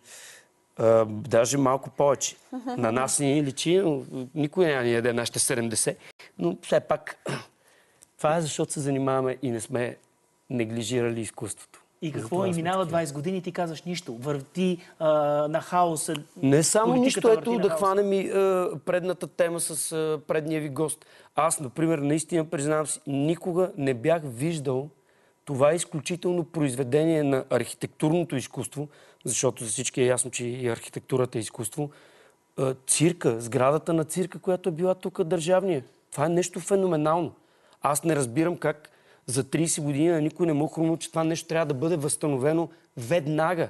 Без значение дали вътре ще се провежда цирк или ще е просто някаква друга общност за култура, каквото и да е. Но това е феноменално произведение на изкуството. Изобщо цялото отношение на държавата към тези а, сгради, колко кина не съществуват, колко Да. кина са превърнати в а, а, Нещо нощни друго. клубове, най-вече Магазини. магазини или не знам си какво си. А, непрекъснато някакви а, по-големи хора от мен ми казват, а, това е бившото кино, еди кое си, а, виж сега е О, една хипермаркет. скоба само. А, Бяхме март месец на един фестивал в Прага с, в сърцето на машината и там разбрах, че при общия ни преход на бившия соцблок, всички кина, които и там са били приватизирани, са дадени, в частност в Чехия и Словакия, са дадени с идеята, че това продължава да бъде кино. Не го правиш на супермаркет, на магазин, на бинго зала или... Искаш да го вземеш, няма проблем, поддържаш го и го работиш като кино. При нас такова нещо нямаше. Руса е града, в който се случила първата кинопрожекция в България. Три години преди да се създаде първото кино в Лондон. 909 година е там, 906 година. В Русе прожекция. Русе стоя 8 години без кино, докато не направиха мола и в мола отвориха, помна тогава с Виктор Чучков син, ходихме на премиера на Тилт. За първи път в Русе имаше кино от 8 години. Жалка работа. Да, да. Цялото отношение просто на държавата към изкуството, към културата е... Но Добре, да, и да какво? засегнем Да. и сега и това, което, а, което Слава... Приеха ли го сега или не го приеха? Приеха го, да, приеха го, Да, но това е Богу. някаква, за мен, честно казано, а, частичка. И изобщо разговорът трябва да е съвсем друг. Разговорът трябва да е такъв... Кое е културният бюджет за до края на Културния годината? бюджет, като, не до края на годината, общо като цяло, изобщо Политика актьорската 30 години да работа и заплащането за актьора, не знам в каква категория влиза в момента. Всъщност, знам, те са там разпределени, мисля, че едно, две, три. Ние сме в последната категория, тотално все едно нищо. Което според мен, ето това е, е основната обидна част на това, което се случва. Защото ти питаш актьорите имат ли право да бъдат обидени и за какво? Ми разбира се, че имат право да бъдат обидени. Аз в един мой пост направих сравнение с това, че в момента началната заплата в хипермаркет е два пъти по-висока от а, а, На заплатата ми, моя, с 10 години стаж. И все пак говорим за някаква... Нали? И изведнъж, когато те категоризират на толкова ниско ниво, ти не знам как точно да се чувстваш и каква да бъде мотивацията ти. Слава Богу, в а, нашия бранш а, и имам чувството, че а, управниците на това разчитат, ние всички сме там не за парите. Но нали, ние всички Защото сме от любов към изкуството, защото ние не неща. можем Да. да живеем без изкуството. И това си личи от сцената. Ние не сме отишли там, за да изкараме големите пари, но веднага става обидно в момента, в който ти видиш, че ако отидеш да си касиер в хипермаркет, ще получаваш два пъти повече пари. Просто ти става обидно. И това е не, защото, а, не защото подценявам хората, които работят там по никакъв начин. Напротив, просто смятам, че за нашата професия се изискват и талант, и а, висше образование, и какво ли още не и знания, докато а, в хипермаркет може да бъде буквално почти всеки. Съ- Съответно, някакси не ми, се, а, не ми се връзват нещата и аз съм се хванала за този пример, но те са, Ма те не, са то е така. Как да убедиш един млад човек, примерно, да се занимава с изкуство, като той ще каже, чакай са, аз трябва да се образовам, да уча 4 години.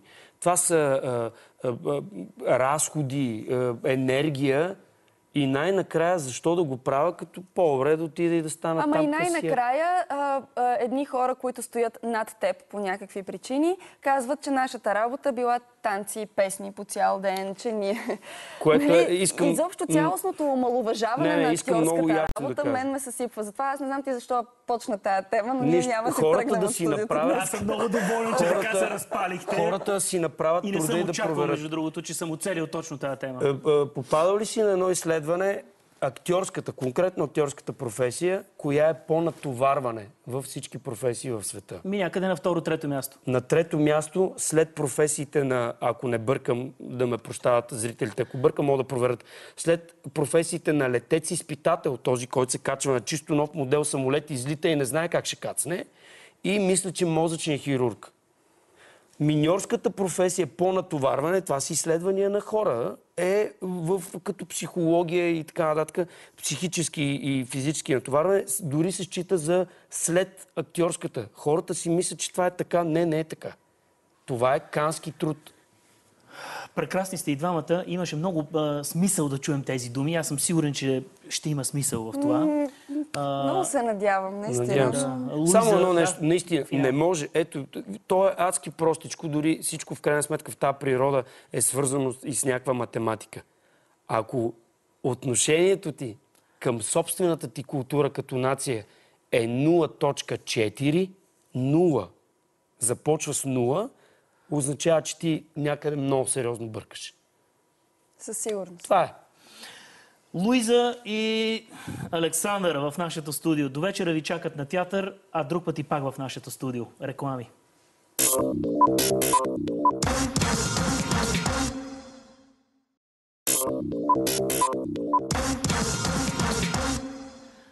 Човекът, който пътува най-много в нашия екип, се нарича Ирина Цонева. И е чудесно, че новият телевизионен сезон започва с Цонева. Тарададам, фанфари. Здравейте, уважаема. Честит нов сезон, скъпи Жоре! Цялата ми любов, щастие, песни, музика и танци са отново за вас. Заповядай това сърце. А, Извинявай, да го дишам ли? Не, А, как не, можах да не, кажа? не, как не. можах да кажа такова? Аз съм свикнал други знам неща. защо ме питаш. Знам защото когато се чуе за Колумбия, първата асоциация естествено е Меделин.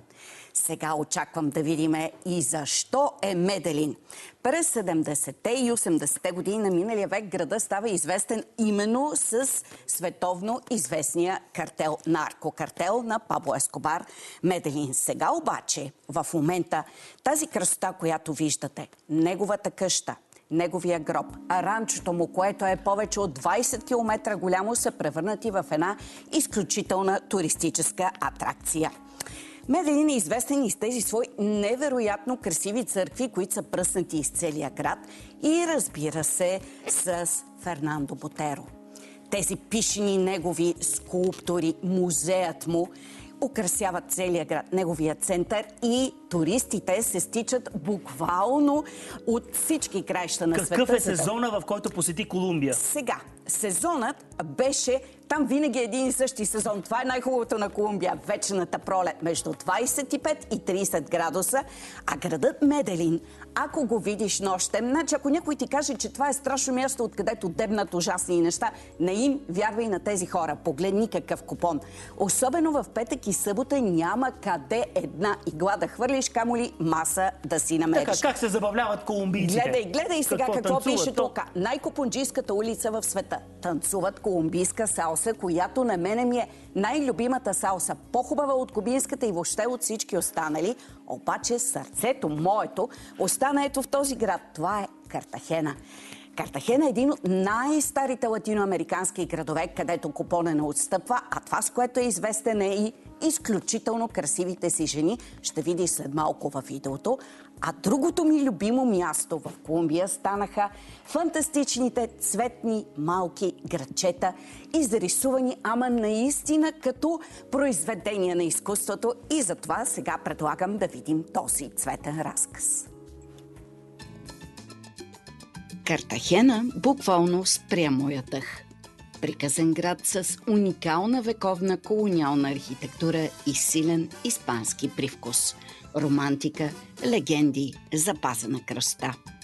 Картахена де Индия е един от най-старите градове в Латинска Америка, главен център на испанските колонизатори.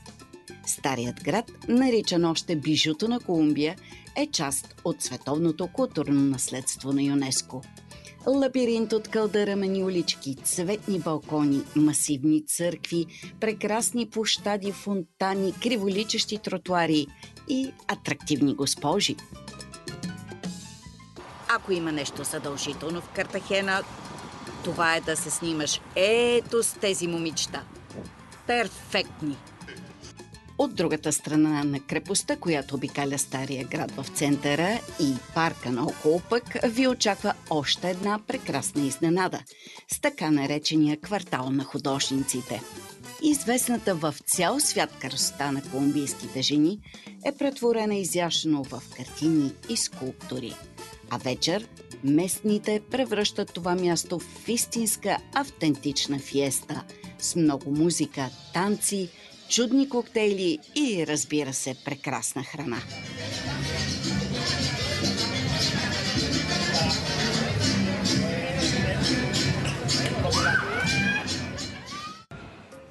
Извън старата част, градът е познатият, с небостъркачите и трафика. Известен е също и с хубавите си плажове. А разказът ми за цветните градчета на Колумбия започва с Гуатапе. Градът наречен най-цветният в целия свят. Изключителен, известен на първо място с огромната си издигаща се на 200 метра скала с името Елпенон. Някога тя е била боготворена от местните индианци, в последствие пък пречала на фермерите. За първи път е изкачена с подръчни средства от група приятели испанци през 1954 година. Впоследствие в единствената пукнатина от едната страна на Елпенон е изградена стълба, която изглежда сякаш съшива двете страни на проуката. И така, след точно 700 супер стръмни стъпала, най-после си тук на върха и гледката спира дъха. А там някъде долу до тази изключителна природна забележителност, сетивата се изпълват с красота и изящество при вида на шарените къщи в градчето Гуатапе. Всяка от тях е произведение на изкуството. Жителите рисуват домовете си във всички тези чудни ярки цветове и украсяват основите на сградите с фрески, наречени зокаус. Част от тях изобразяват местни занаяти, други птици, а най-сложните разказват цели приказни истории. Туристи от цял свят се стичат тук, за да се насладят на тази красота. А вечерите носят още прелест за душата с колоритната си местна музика и любимата ми колумбийска салса.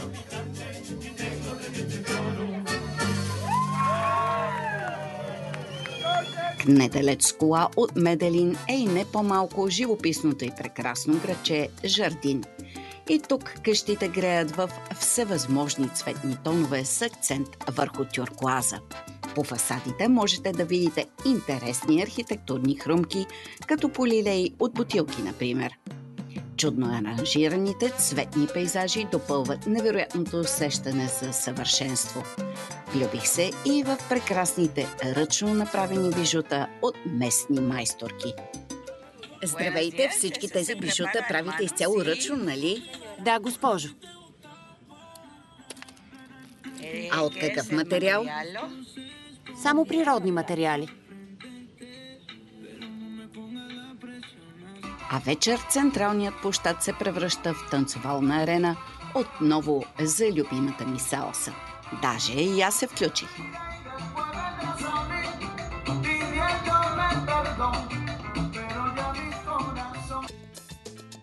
Още едно цветно колумбийско градче е Саленто, известно в цял свят с намиращата се недалеч от него долина Кокора с най-високите естествени палми в света и също известно с плантациите си за кафе. И тук къщите са тоново като произведение на изкуството, а храната съвършенство с сетивата. Боб с пекойни яйчице и пастърва с специален сметанов сос, поднесена с любимия за местните жители бананов хляб, са сред най-предпочитаните ястия. Като цяло, споменът, който оставят в душата тези живописни кръчета на Колумбия, е една истинска цветна приказка.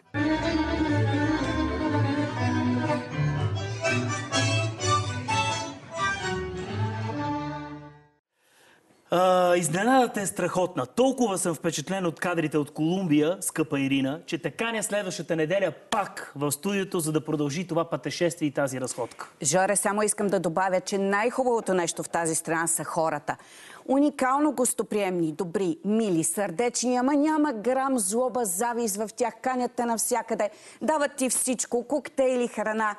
А другата неделя ще изненадаме зрителите с още една наистина световна кръста – замъците на Луара.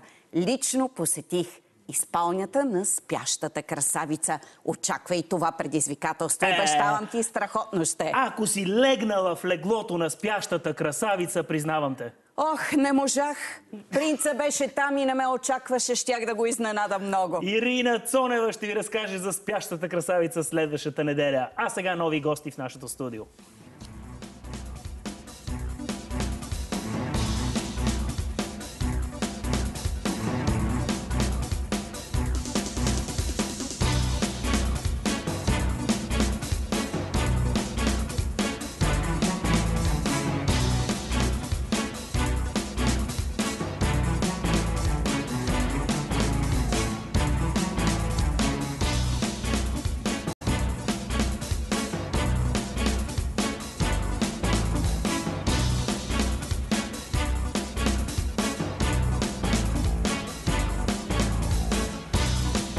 Задава се партито на годината, или поне така твърдят от Метрополис, а щом го кажат те, значи е така. Електронно парти с много настроение, 21 септември, съвсем скоро, в четвъртък, наближи, няма време. Диджей Стивън е по-близо до мен, Стефан Да. Крачанов. Яската, диджей Ясен Петров. Уважаеми прекрасни диджеи, уважаеми гурута на електронната музика, добре дошли в нашото студио и най-вече в БНТ. БНТ, помниш ли славните години на предаването за електронна музика, Яска? Значи първо си Как го ще го спомням, забравя, кажи? Никога няма да забравя смисъл. Спомням си и твоите участия тук, и твоето. И си спомням, че водех даже по едно време е, поздравителен концерт. Не знам дали си спомняш. Е, ма това е много хубаво. Аз съм бил и при Сашо Авджиев сутрин в неделя, когато съм бил примерно на работа до 8 сутринта, в 9 съм идвал тук. Да, значи ти си нещо като ветеран на телевизионното изкуство или на музикалното. Там не, да, не, деца, не, викам, не нещо такова. викнаха Набор си, в- набор си над почти на телевизията. а, задава се парти. Вие кажете новината, за да не я казвам аз. Голяма личност идва в четвъртък и той се, и той се и той е... Карл Кокс. Името само говори за себе си. В случая обаче цялото нещо е подсилено с факта, че той идва по различен начин, с един хибриден сет. Това е смесено между диджейско изпълнение изпълнение на живо на неговата музика, допълнителни елементи, ефекти и всякакви такива работи, придружен от неговия партньор в новия му лейбъл Кристофър Ко, който ще свири абсолютно на живо. Един продуцент, който заслужава голямо внимание и артист, който изпълнява А, на добре, наричате го хибриден а, сет. Как, Да. как да си го представим? Какво означава това? Пуска ли той на грамофон или не? Не, не. вече не. Значи вече не. Да, въпросът е, че примерно ако преди е имало 4 или 3 или 4 технически устройства, за да може да свърши работа, този път има примерно 15. А, съответно синтезатори, ритъм машини, ефекти, допълнителни неща и върху парчетата, които пуска, той в момента реконструира други неща на живо на сцената. Това е хибридния сет. Да не пропуснем и третия артист Бен Симс, който просто завършва пакета за вечерта, плюс Metropolis DJs. Заявката наистина е много голяма. Това е нещо много по-различно. Това ли е пътя на развитието на въобще на клубната култура и на електронната музика? Това нещо ново ли е в развитието на, този, на тези звуци? Според мен е категорично нещо ново, различно, което добавя и създава, как се казва, усещането за свирене на живо, което горе-долу го приближава до рок-музиката, ако ми позволи смисъл да направя това сравнение. Но просто сега, докато гледах репортажа на Иринчето, си казах смисъл, ние сме като тези хора, които в Колумбия си боядисали къщите, ма тук не са.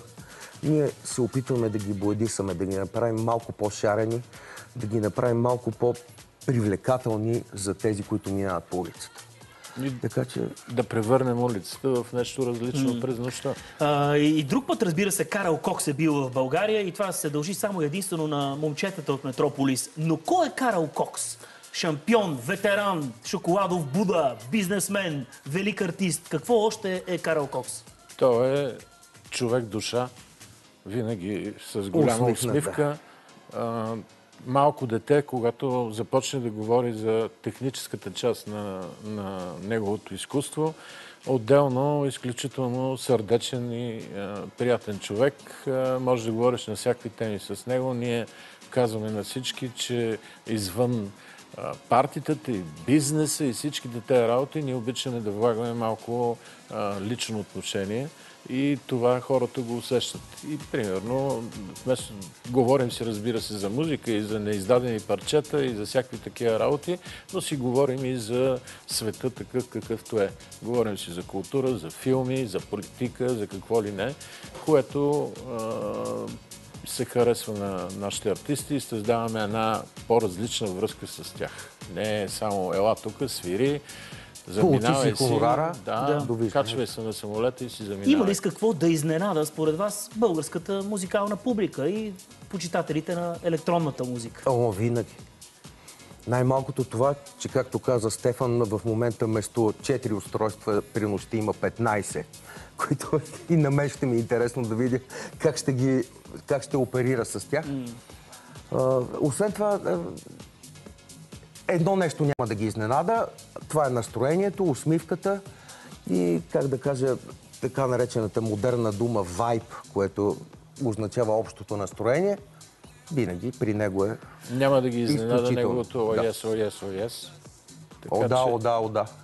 А, сега, понеже и вие сте, вече се числите към ветераните, наблюдавате ли този феномен а, на това, че тогавашните тинейджери от балона за НДК на Атомверк Ека. или Атомверк, не знам как го наричате. Атомверк. Атомверк. А, от тази епоха вече са набори, вече са чичковци. Да, наблюдаваме го, особено когато дойдат е, старите кучета, като Свен Вет, като Карл Кокс, хората, които продължават да са имена в бизнеса и да диктуват някакви тенденции, защото изкачат тези деца, които вече са майки и бащи и така нататък. И тогава се появяват, защото нали, по някакъв начин се връщат към тяхната младост. И нека да добавим, че по принцип значи, възрастта е състояние на ума. Точно така. Може да си на 50 и въпреки всичко да скачаш, да танцуваш и да се чувстваш млад. Нещо, което, дет се казва, ние го демонстрираме в момента. Да, два примера тук стоят пред вас. Да, три примера стоят. три примера стоят. Добре, де. А, диското е за танци, фънка за удоволствие, класиката за вкус и за възпитание, джаза за... От... Демонстрация, за бих демонстрация. казал. И А да ти ми извиняват от джазмени. тебе съм научил нещо. Да тепаш джаза. Това от тебе го знам. Тепаш свинга. А, свинга. Да. Почти същото. Да. А, техното за какво е? По принцип електронната музика, колкото и да звучи клиширано, нали, е музиката, която дава, може би, най-голяма свобода на ума, защото вътре няма пеене, няма текст, няма някаква ярко изразена мелодия, има мелодични елементи и всеки може да прави а, интерпретации така, както той иска в неговия мозък, Мозък. свят и така нататък. Дет се Е, вика, стига да има такъв. Да.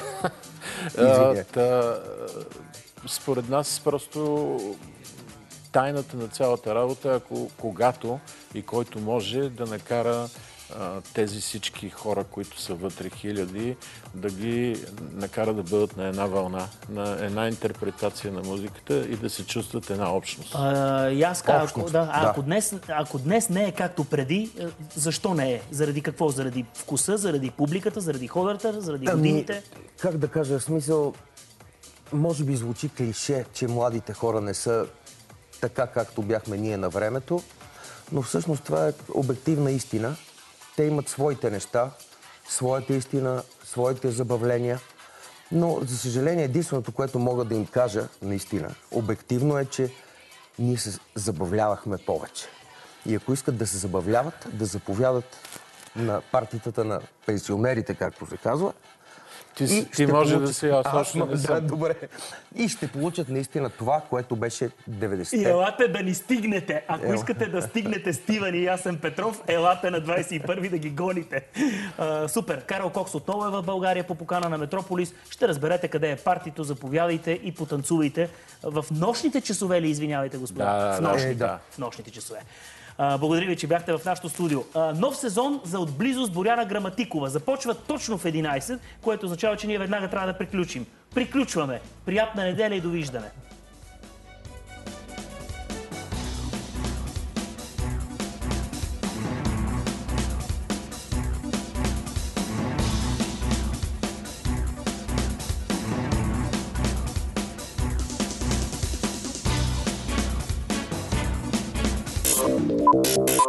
you